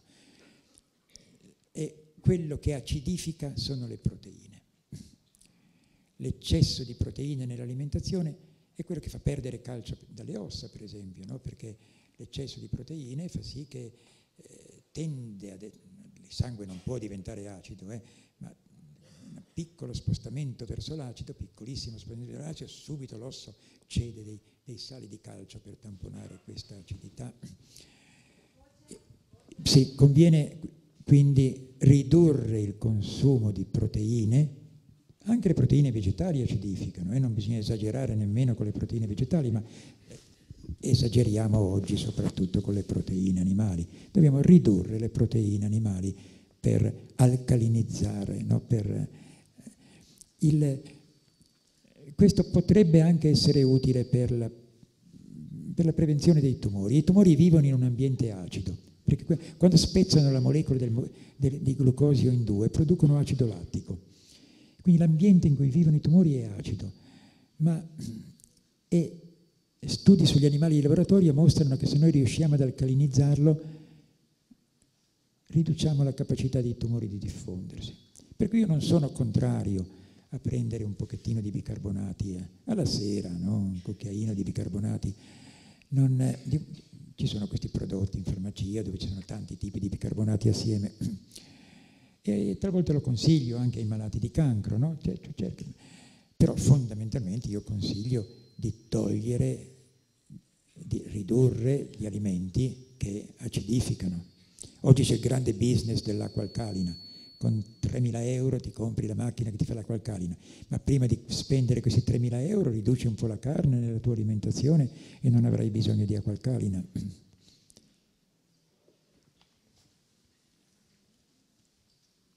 Grazie di questa domanda, in particolare per la domanda sulle scuole. Però è difficile lavorare nelle scuole, bisogna, bisogna lavorare con i genitori, non è che puoi cambiare la mensa perché se no ti trovi genitori che protestano perché hai tolto la carne ai bambini, perché giustamente i genitori pensano che la carne faccia bene tutti i giorni, perché noi medici abbiamo trasmesso questa informazione, no? e, invece, invece bisogna informare i genitori che non è proprio così. Nel mio libro, nella terza parte del mio libro dedicato ai bambini, c'è un capitolo sul latte, c'è un capitolo sulla carne, dove cerco di, di mettere in chiaro il problema che è legato all'eccesso delle proteine animali che stiamo mangiando. Faccio io la domanda. Sono qua. Qui. Sei? Sì, sì, di qua, adesso. Ah, ecco, sì, sì. qua per terra. Ah, di là. Volevo chiederle, può darci un chiarimento sul latte, in particolare per le persone che hanno magari una malattia tumorale eh, o chi non ha la malattia e eh, per i bambini? Eh, e par- aggiungo perché sembra che i nostri medici non sappiano come comportarsi di fronte alla domanda posso bere latte, non posso bere, perché c'è anche il discorso dell'osteoporosi, c'è un po' di confusione generale, se può darci un chiarimento su questo. Grazie, grazie di questa domanda. Il, il, latte è un alimento importantissimo, no? assolutamente importante, il latte di mamma mi riferisco. Eh? È, è, è, importantissimo che nel primo anno di vita almeno i bambini abbiano il latte di mamma per mille ragioni. Eh. I bambini allattati con un latte artificiale hanno più rischi, anche il rischio di diventare obesi, perché nel latte artificiale noi medici abbiamo pensato che il Padre Eterno si fosse sbagliato, avesse messo poche proteine nel latte di mamma, mentre invece nel latte di mucca ce ne sono quattro volte di più e nel latte artificiale ne abbiamo messo il 50% in più. E i bambini allattati con il latte artificiale è più facile che diventino bambini obesi perché l'eccesso di proteine fa ingrassare. Il, quindi tutto positivo per quanto riguarda il latte di mamma. Per quanto riguarda il latte di mucca, beh, eh, anche i pediatri oggi lo sconsigliano ai bambini nel primo anno di vita nel modo più assoluto, perché può causare emorragie, eccetera. Dovrebbe, se, se, se, per caso lo si deve usare bisogna diluirlo molto, molto. Il, e poi non è che i bambini abbiano bisogno di latte. C'è questo mito nel mondo medico ma nel mondo generale, non solo nel mondo medico, che il latte e i formaggi siano importanti per la salute delle ossa. Ed è un mito, è, una, è un ragionamento, no? c'è tanto calcio nel formaggio e, e, allora eh, le ossa hanno bisogno di calcio e allora il formaggio farà bene le ossa. E invece no, non è così. Nei, nei nostri studi nel nostro studio EPIC, per esempio, siamo andati a vedere chi ha avuto la frattura dell'anca. Sono grandi studi, su grandissimi numeri. E abbiamo visto che il rischio di avere una frattura dell'anca aumenta linearmente con il consumo di carne. Più carne mangi, più hai fratture dell'anca. Diminuisce linearmente con il consumo di verdure. Più verdure mangi, meno hai fratture dell'anca. E poi siamo andati a vedere il latte e i formaggi nessuna relazione con il latte, nessuna relazione con i formaggi. L'interpretazione non è facilissima, ma l'interpretazione più, più elementare è che la carne acidifica e non contiene calcio. Le verdure alcalinizzano e quindi non fanno perdere calcio dalle ossa. Il latte e i formaggi sono molto ricchi di calcio, ma sono anche molto ricchi di proteine animali, proteine che acidificano, quindi da un lato il calcio te lo danno, dall'altro te lo tolgono. Noi non troviamo rischio però, e non, non, non troviamo rischio da latte e formaggi, ma ci sono studi che hanno trovato un rischio da latte, non da formaggi. In particolare un grande studio fatto in Svezia, pubblicato un paio d'anni fa, su 90.000 donne, anche queste sono le donne seguite con la mammografia, che compilano i questionari alimentari periodicamente, e anche gli studi americani delle infermiere americane, avevano trovato che il, lat, il, rischio di frattura, in particolare di frattura dell'anca, aumenta con il consumo di latte. Il meccanismo non è chiaro, ma, è, ma si ipotizza che sia dovuto a una donazione infiammatoria del galattosio, che è uno degli zuccheri del latte. Comunque noi nel nostro studio EPIC non troviamo un rischio, ma non troviamo neanche una protezione. Per cui se bevete latte, bevete formaggio, bevetelo perché vi piace, non perché fa bene. Non seguite la raccomandazione del medico che dice mi raccomando signora, lei è in menopausa, si mangi mezzetto di parmigiano al giorno. No? Non serve a niente, ma serve a far aumentare il colesterolo, serve a far aumentare la pressione per tutto quel sale che c'è dentro, non serve per la salute delle ossa. Per la salute delle ossa diminuite la carne e aumentate le verdure e fate attività fisica, andate a camminare, andate a camminare con lo zaino. Eh. E poi ci sono altre cose che si possono fare, c'è un capitolo sul mio libro proprio sulla, sulla salute delle ossa. La questione del latte e i tumori è una cosa che mi preoccupa in generale, nel senso che latte, chi beve latte ha più alti livelli nel sangue di del, del principale fattore di crescita, si chiama IGF1, fattore di crescita insulino simile di tipo 1, il fattore che fa crescere i bambini. il fattore che fa crescere i vitelli. Noi decine di studi hanno mostrato che chi beve latte ha più alti livelli nel sangue di IGF-1 e decine di studi hanno mostrato che chi ha più alti livelli nel sangue di IGF-1 si ammala di più di cancro in generale. Però gli studi che hanno guardato il rischio di cancro in rapporto al consumo di latte eh, non hanno dato degli, dei risultati chiari. Eh, tant'è vero che nelle, nelle, raccomandazioni del codice europeo contro il cancro non c'è nessuna raccomandazione per quanto riguarda il cancro, non dice niente se mangiare o non mangiare i latticini, perché i latticini sono associati al cancro della prostata. Gli studi generalmente trovano, gli studi sul cancro della prostata trovano che chi beve latte e mangia formaggio si ammala di più. Però gli studi trovano anche che chi beve latte e mangia formaggio, soprattutto chi beve latte, non tanto chi mangia formaggio, si ammala un po' di meno di cancro dell'intestino. E questo verosimilmente perché è il calcio che protegge dal cancro dell'intestino. Ma ci sono tanti alimenti ricchi di calcio, non c'è bisogno di bere latte. Per cui non ci sono delle raccomandazioni ufficiali. Io personalmente, prudenzialmente, raccomando al malato di cancro di non bere latte. Ci sono due studi che sono molto allarmanti, uno sul cancro della mammella e uno sul cancro della prostata, sui pazienti con cancro della mammella. Questo studio americano trova che i pazienti con cancro della mammella che bevono latte hanno più recidive, ma è uno studio solo per ora, eh, per cui sarà vero, non sarà vero, bisogna fare degli altri studi. Un altro studio, di nuovo uno studio solo, trova che i pazienti che hanno il cancro della prostata, se bevono latte, hanno più metastasi. E la ragione l'interpretazione di questi dati è dovuta al fatto che il latte di oggi è molto diverso dal latte di ieri. Quando io ero piccolo e la mia mamma mi dava il caffè latte tutti i giorni, le mucche facevano 10 litri di latte al giorno, 12 litri, quelle proprio brave. Oggi gran parte delle nostre mucche fanno 50 litri, 40-50 litri di latte al giorno non mangiano più l'erba, forse in Val d'Aosta le mucche mangiano ancora l'erba, può darsi, eh? almeno un po'. Però io una volta in montagna ho chiesto al Margaro, ma, ma quanti litri fa? E mi fa, eh, arriviamo a 20 litri. È una mucca che pascola in montagna e che mangia solo l'erba, non riesce a fare 20 litri di latte al giorno. Vuol dire che gli danno degli integratori. Ma c'è una cosa più grave, ed è che oggi si è riusciti a selezionare le mucche da latte che siano capaci di produrre latte per tutta la gravidanza. Una volta la mucca aveva il vitello, eh, aveva la montata lattea e quindi c'era il latte per il vitello, il latte per il, per, eh, il margaro e poi la mucca rimaneva di nuovo gravida l'anno dopo e dava latte ancora per un mese o due e poi si seccava. Adesso invece le mucche vengono no, hanno selezionato le mucche che sono capaci di produrre latte per tutta la gravidanza. E nella seconda metà della gravidanza il latte è molto ricco di estrogeni, di estrone in particolare.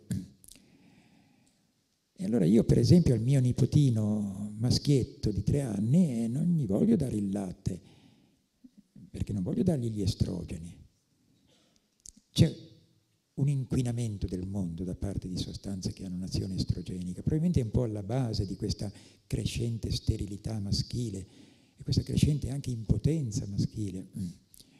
Il, eh, allora, io vi consiglio, se volete bere latte, assicuratevi che sia una mucca che mangia il suo cibo e che non venga munta nella seconda metà della gravidanza. Il consiglio che vi do è di compratevi una mucca.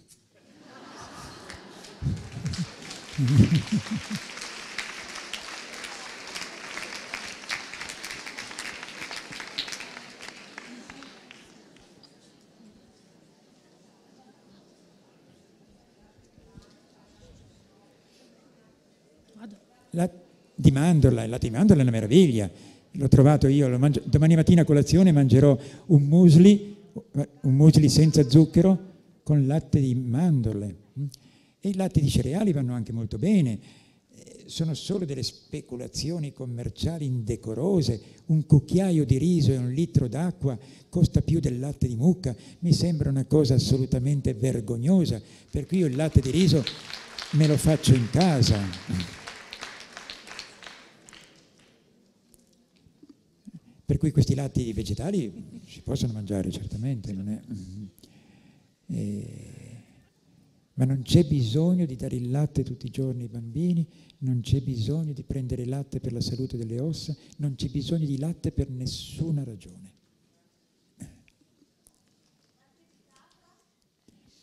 Ma è probabile che sia un po' meglio, perché le capre, credo che le capre mangino ancora il loro cibo, insomma, qualcosa di un po' più... Eh.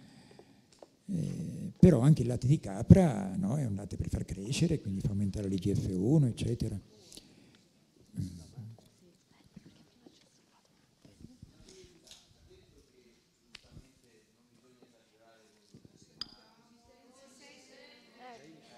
Eh, ripeto io, ripeto io. Giustamente dice che non bisogna esagerare con le carni rosse o carni conservate, con i formaggi, latte, eccetera, eccetera ma queste stesse prescrizioni varrebbero, tra virgolette, anche cent'anni fa, cioè, mi spiego, cent'anni fa la mucca mangiava l'erba, mm, venivano coltivati i cereali, le altre cose come Dio comanda, le carni rosse eh, venivano conservate in un certo modo, cioè quanto di queste prescrizioni sono legate al, alla differenziazione e alla modificazione nel, mh, nella produzione dell'alimento, all'inquinamento e quanto altro. Non, non, sono sicuro di avere capito bene la domanda. Effettivamente... Eh, eh, cioè, quanto, quanto, diciamo, la, quanto in realtà il, l'alimento in sé può creare dei danni e quanto in realtà sia il processo di produzione grazie, dell'alimento grazie. a crearlo. Gra- grazie, ho capito perfettamente. Il, eh, no, allora, il, il processo di produzione direi che oggi è la cosa principale per quanto riguarda gli alimenti vegetali, cioè fondamentalmente i cereali. No? Il processo di produzione dei cereali oggi trasforma un cibo molto importante e utile per la salute in un cibo che è dannoso, il cereale raffinato. E anche la selezione genetica dei grani che sono molto ricchi di glutine no, ha portato dei danni. Per cui è importante ritornare ai semi antichi e ritornare ai semi non raffinati. Per quanto riguarda le carni, eh, siccome il meccanismo principale con cui le carni rosse, e non le carni bianche, le carni rosse fanno aumentare il cancro, è legato alla loro ricchezza di ferro, è molto probabile che anche una produzione tradizionale che rispetta l'animale, no? eh, eh, se mangi frequentemente quelle carni eh, aumenti il tuo rischio di cancro dello stomaco e dell'intestino. E eh, fra l'altro anche in Italia c'è uno studio fatto già negli anni, beh erano già gli anni 70, già una, era già cominciata la produzione industriale delle carni, ma non era così drammatica come oggi, no? che mostrava chiaramente una, la responsabilità delle carni rosse per il cancro dell'intestino, per il cancro dello stomaco, quello studio era fatto sul cancro dello stomaco. Il, eh, per cui io penso che non eh, non è che se alleviamo le mucche come una volta ci ammaliamo di meno, se le mangiamo con le frequenze di una volta ci ammaliamo di meno, questo sì. Ma l'indicazione, l'indicazione delle, internazionale è di limitare le carni rosse, nel senso se le vuoi mangiare mangiale pure, ma magari non mangiarle più di due volte alla settimana. E, eh, il, eh, il rischio aumenta con la, con la quantità naturalmente. E il consiglio che vi do, se vi piacciono le, mangiarvi una bella bistecca, è nello stesso piatto metteteci tante verdure, nello stesso pasto metteteci la frutta, met, cioè metteteci delle, delle fonti di sostanze antiossidanti, perché il meccanismo principale è l'azione ossidante, quindi se ne mettiamo le sostanze antiossidanti riduciamo il nostro... Nei nostri studi è molto chiaro, eh? Chi mangia tanta carne rossa, ma mangia anche tante verdure, si ammala un po' di più, ma, non, ma molto meno rispetto a chi mangia poche verdure. Per cui io poi per non saperne leggere né scrivere, anche se non ho dei dati sicuri di questo, direi dopo pranzo prendetevi anche il caffè, eh? perché il caffè è molto ossidante, è molto antiossidante e ha un'azione antiossidante nell'intestino. E qualche studio ha mostrato che, che, che chi beve caffè si ammala meno di cancro dell'intestino e di cancro del fegato. Però solo se mangiate le carni rosse, se non mangiate le carni rosse non avete bisogno di prendere il caffè. Dott- eh, buonasera, grazie dottore. Volevo chiederle se la psiche, eh, per psiche intendo un trauma, un trauma forte, sia scatenante per eh, il fattore tumorale. Grazie. È una domanda bellissima che richiederebbe tempo per rispondere bene. Gli studi sono molto difficili da fare sull'influenza della psiche, però ci sono sempre più dati che vanno in questa direzione no? che, eh, e che si vede nella storia del, di, di, molti pazienti. Un, eh, e forse è molto più chiaro per la prognosi che non per... I medici sanno, no? una donna ha avuto il cancro della mammella, apparentemente guarita per 10 anni, per 15 anni. Muore il marito e compaiono le metastasi. No, so, anche voi avete l'esperienza probabilmente di questi casi. No? Cioè in particolare no, è, è una persona che vede, vede il suo mondo eh, non reggere più in qualche modo e come se addirittura il cervello limbico decidesse che è meglio morire, qualche cosa del genere. Per cui è estremamente importante dare il sostegno, l'empatia, anche nel caso di una difficoltà che insorga nella vita di una persona che ha avuto il cancro. E questo è il, il, il, il vostro ruolo, il ruolo delle associazioni è importantissimo in questo campo. Per quanto riguarda l'insorgenza del tumore, eh, ci sono degli indizi che vanno in questa direzione. E però è veramente un campo che è molto difficile da studiare. E io personalmente ci lavoro sempre di più su queste caratteristiche, eh, questi, eh, questi, eventi che hanno, che hanno causato un, un, grande dolore eh, per, eh, per cercare di risolverli in qualche modo e che non vadano ad, a, a, alimentare la probabilità di ammalarsi e di riammalarsi. Buonasera. Può darci qualche consiglio per favore sulle combinazioni alimentari? Eh, prima ha detto di mangiare cereali con i legumi oppure eh, abbinare la frutta dopo il pasto. Cosa pensa delle combinazioni alimentari igieniste? che dicono magari di mangiare la frutta da sola, di non mischiare la dolce con l'acida, le proteine, con i carboidrati. Grazie. Ma sì, sono, sono delle, delle, piccole raccomandazioni di, di una discreta saggezza. Eh, sapete, se voi avete fatto un pasto abbondante con, eh, magari con tanta carne o tanti grassi che rallentano molto lo svuotamento dello stomaco e poi vi mangiate la frutta a fine pasto e andate a, a danneggiare un po' la, la, la, capacità del nostro sistema digerente di gestire la situazione. Se però voi mangiate cereali, legumi, verdure, non c'è nessun problema a mangiare la frutta a fine pasto, nel senso che comunque sono cose che non... No, che non e se masticate molto bene, eh, quando si mangiano i cibi integrali bisogna masticare tantissimo. La gente mi dice, ma io non posso mangiare i cibi integrali, non posso mangiare i legumi perché mi scoppia la pancia, poi ho i diverticoli, no? No, no, vanno benissimo queste cose anche con i diverticoli, a condizione di fare il lavoro che bisogna fare in bocca.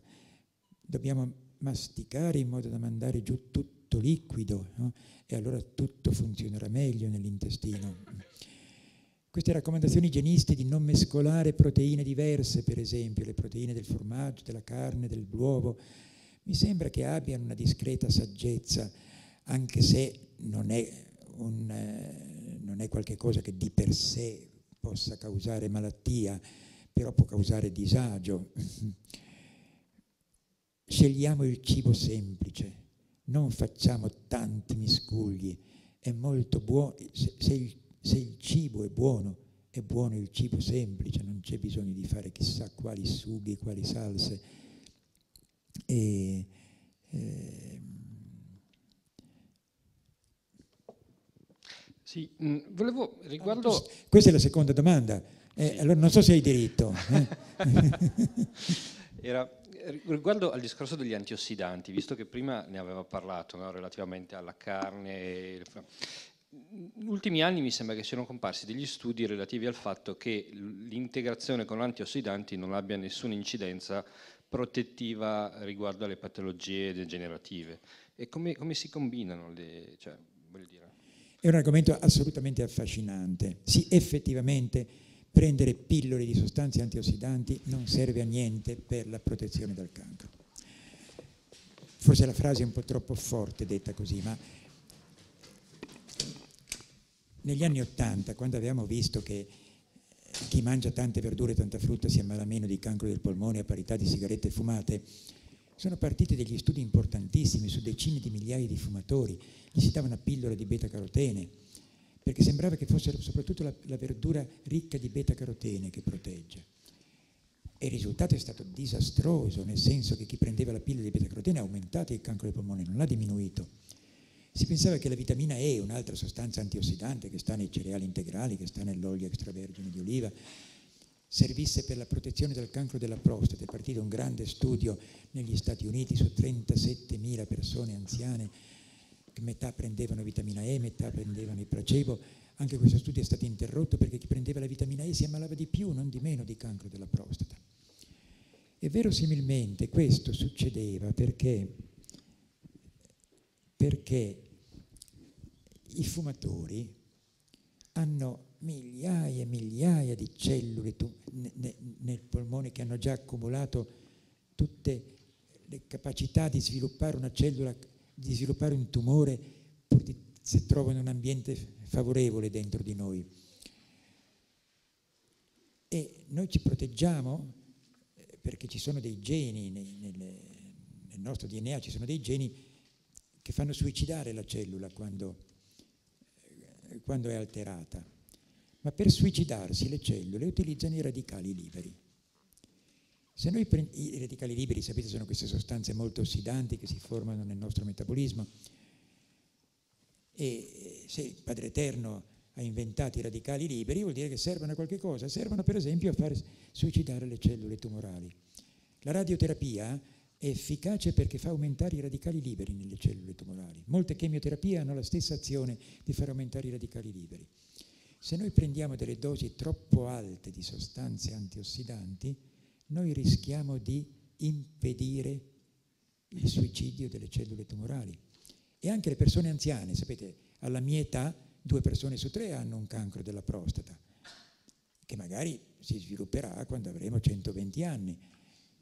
Però se noi impediamo il suicidio delle cellule tumorali rischiamo di farlo sorgere. È per questo probabilmente che sono aumentati i tumori della prostata in chi prende le pillole di vitamina E. Per cui gli antiossidanti servono per prevenire i tumori, perché impediscono l'attivazione di sostanze cancerogene, perché bloccano i radicali liberi che sono capaci di danneggiare il DNA. Ma quando c'è un tumore, io sconsiglio proprio di prendere sostanze antiossidanti, perché rischierei di ostacolare la nostra capacità di autoguarigione e di ostacolare anche l'azione dei farmaci. Negli animali di laboratorio è molto chiaro questo, se a un topo a cui dai cancerogeno perché fa venire i tumori della mammella, gli dai anche tanta vitamina E, il tumore della mammella cresce di più. E per cui andiamoci piano, prendiamo la vitamina E mangiando i cereali integrali, usando l'olio extravergine di oliva, usando i semi e non, non ne avremo troppa, no? non riusciremo a mangiare tanti cereali integrali da avere troppa vitamina E, ma non prendiamo pillole. E, e anche questi, questi ambienti eh, di medicina alternativa dove, dove si consiglia ai malati tumorali di bere dei grandi beveroni di centrifugati di frutta e verdura, io sarei prudente. Eh? Può andare bene per una settimana, una persona che deve disintossicarsi, ma, eh, ma rischiamo di, sai, non riusciresti a mangiare 10 mele, ma a bere un centrifugato di 10 mele ce la fai, per cui rischiamo di esagerare con le sostanze antiossidanti. Grazie di questa domanda, molto importante. Buonasera. Qua. Buonasera. Volevo sapere lei cosa ne pensa del consumo frequente di soia e i suoi derivati. Ma ne penso ci sono miliardi di persone al mondo che mangiano soia e derivati di soia tutti i giorni no? e non hanno dei problemi. È un alimento molto comune in Oriente e anche molto comune in Occidente eh, perché, perché l'industria alimentare usa la soia e la mette dappertutto. Se andate a mangiare un gelato c'è la soia dentro, no? moltissimi prodotti industriali hanno la soia.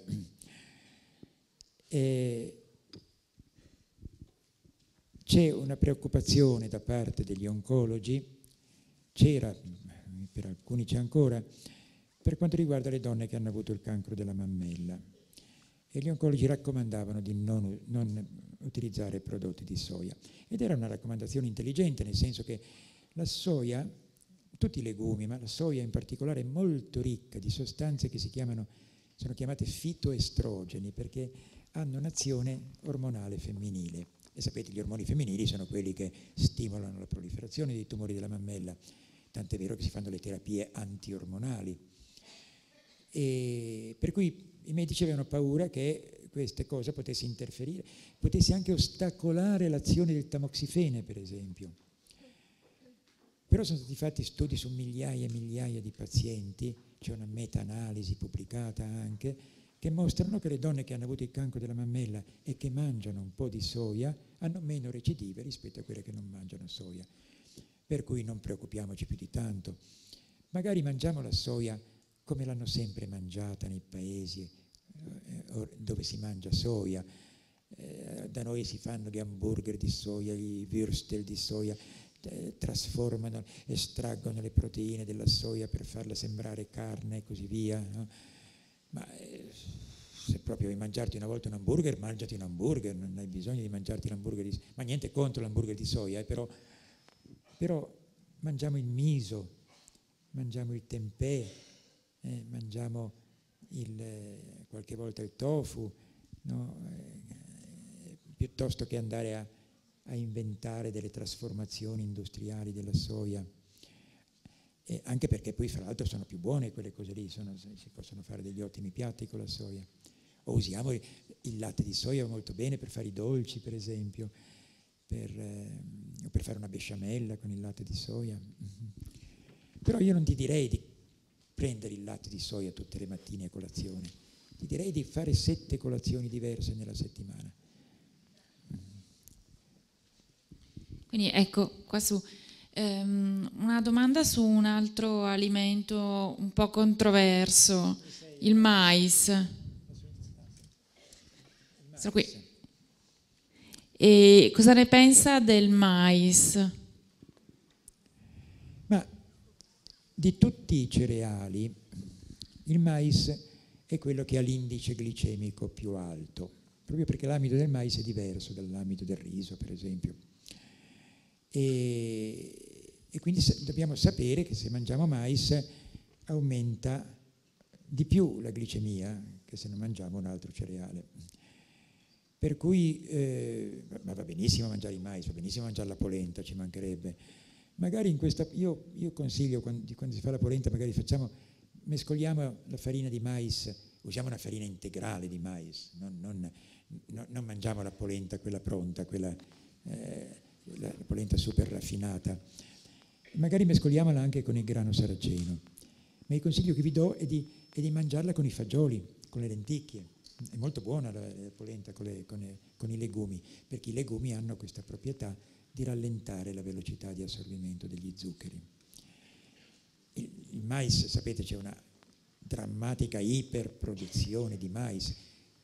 Probabilmente il mais è l'alimento più mangiato al mondo, ma perché il mais serve per nutrire le vacche, per nutrire i vitelli, per, eh, serve, per fare, serve per fare lo sciroppo di glucosio e fruttosio, che è molto peggio dello zucchero. Eh?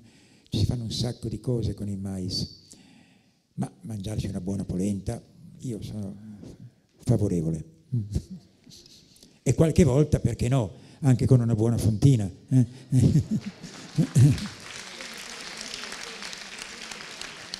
Eh, posso fare l'ultima domanda? domanda?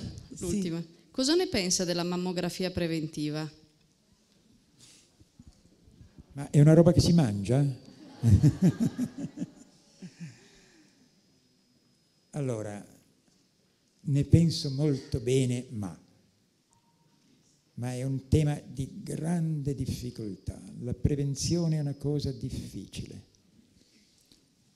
e non sempre è, è sensato fare la diagnosi precoce. Io sono per esempio molto contrario alla diagnosi precoce per il cancro della prostata. Io ho un'età in cui il cancro della prostata è frequente, però ho deciso che io non faccio il PSA. È un esame di laboratorio che eh, potrebbe evidenziare la presenza di un cancro della prostata.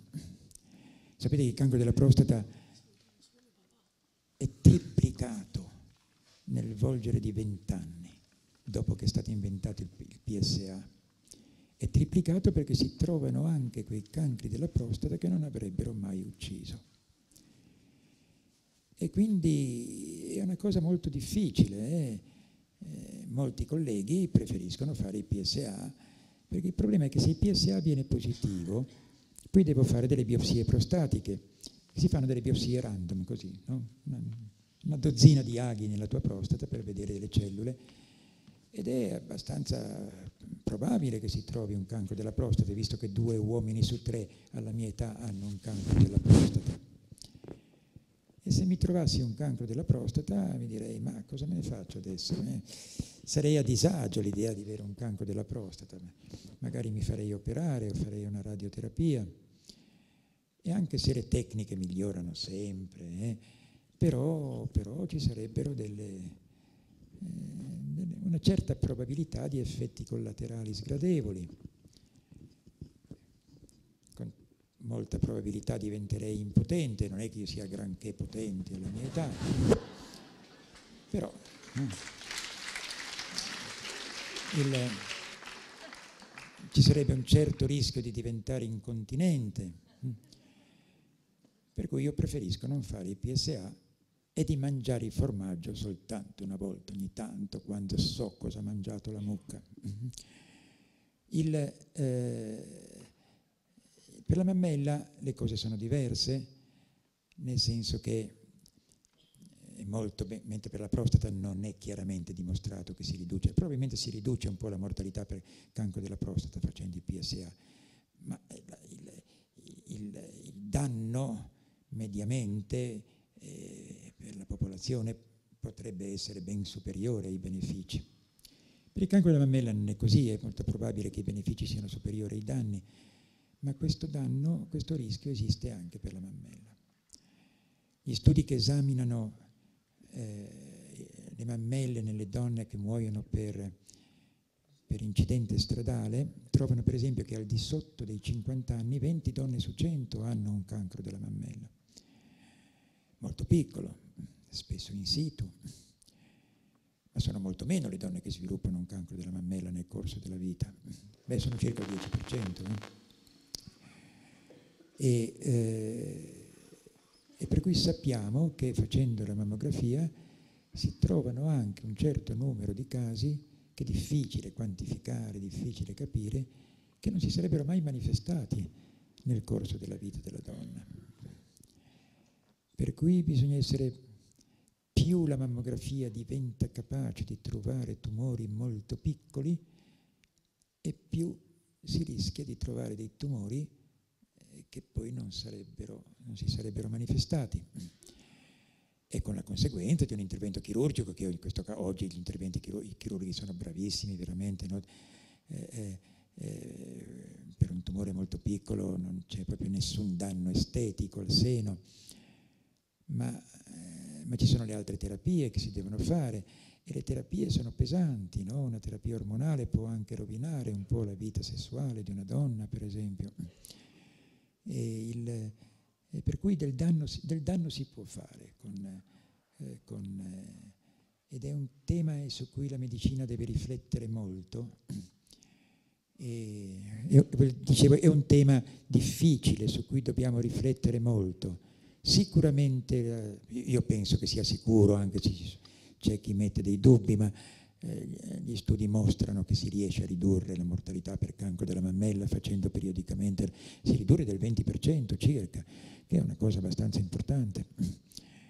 Ma ci sono tanti altri modi. Io dico, va bene, facciamo pure la mammografia, ma facciamo anche tutte le altre cose che sappiamo fare per ridurre il rischio di cancro della mammella. Evitiamo le radiografie inutili nelle bambine, eh, sapete, i, le radiazioni nelle bambine causano i tumori della mammella. S miglioriamo le tecniche di radioterapia quando una bambina si ammala di morbo di Hodgkin. Eh, facciamo in modo di non ingrassare, di, di mantenerci snelli per tutta la vita. Facciamo in modo di non sviluppare la sindrome metabolica. O se abbiamo la sindrome metabolica, e facciamola tornare indietro modifichiamo il nostro stile di vita in modo da non avere né la pressione alta, né la glicemia alta, né i trigliceridi alti, né il colesterolo buono basso. Basta fare attività fisica e fare un'alimentazione basata prevalentemente su cibi di provenienza vegetale non industrialmente raffinati. E magari andiamo anche a letto presto la sera perché chi vive di notte, le donne che vivono di notte, si ammalano di più di cancro al seno, le hostess, le infermiere, le infermiere che fanno i, di, eh, che fanno i turni di notte si ammalano di più.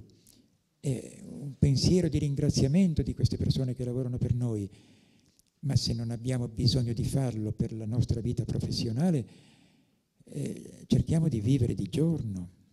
È l'effetto della melatonina. Nei nostri studi troviamo che le donne che avevano la melatonina più bassa nelle urine del mattino, no, nelle urine raccolte durante la, noi raccoglievamo l'urina dalle 8 di sera alle 8 del mattino, e le donne che avevano la, il metabolite della melatonina più bassa hanno avuto un rischio doppio di ammalarsi di, di cancro della mammella.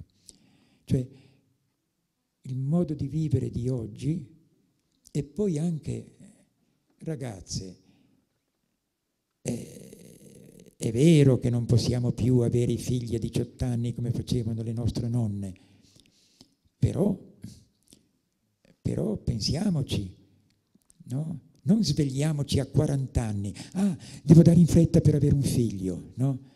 E magari pensiamoci di averlo prima. E poi se abbiamo un figlio allattiamolo, perché l'allattamento riduce un pochettino il rischio. Ecco, se facciamo tutte queste cose qua.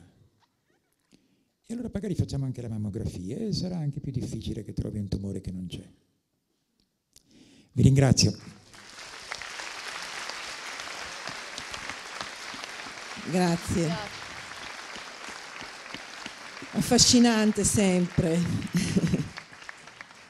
Noi ci auguriamo che abbiate accolto il messaggio trasmesso dal professore che si è servito comunque ad avere una visione più chiara del complesso panorama eh, dell'alimentazione. E, mh, mm, ci auguriamo di aver stimolato anche la curiosità per saperne di più e difendere questo grande valore. Grazie per essere stati qua, grazie professore, buona serata a tutti.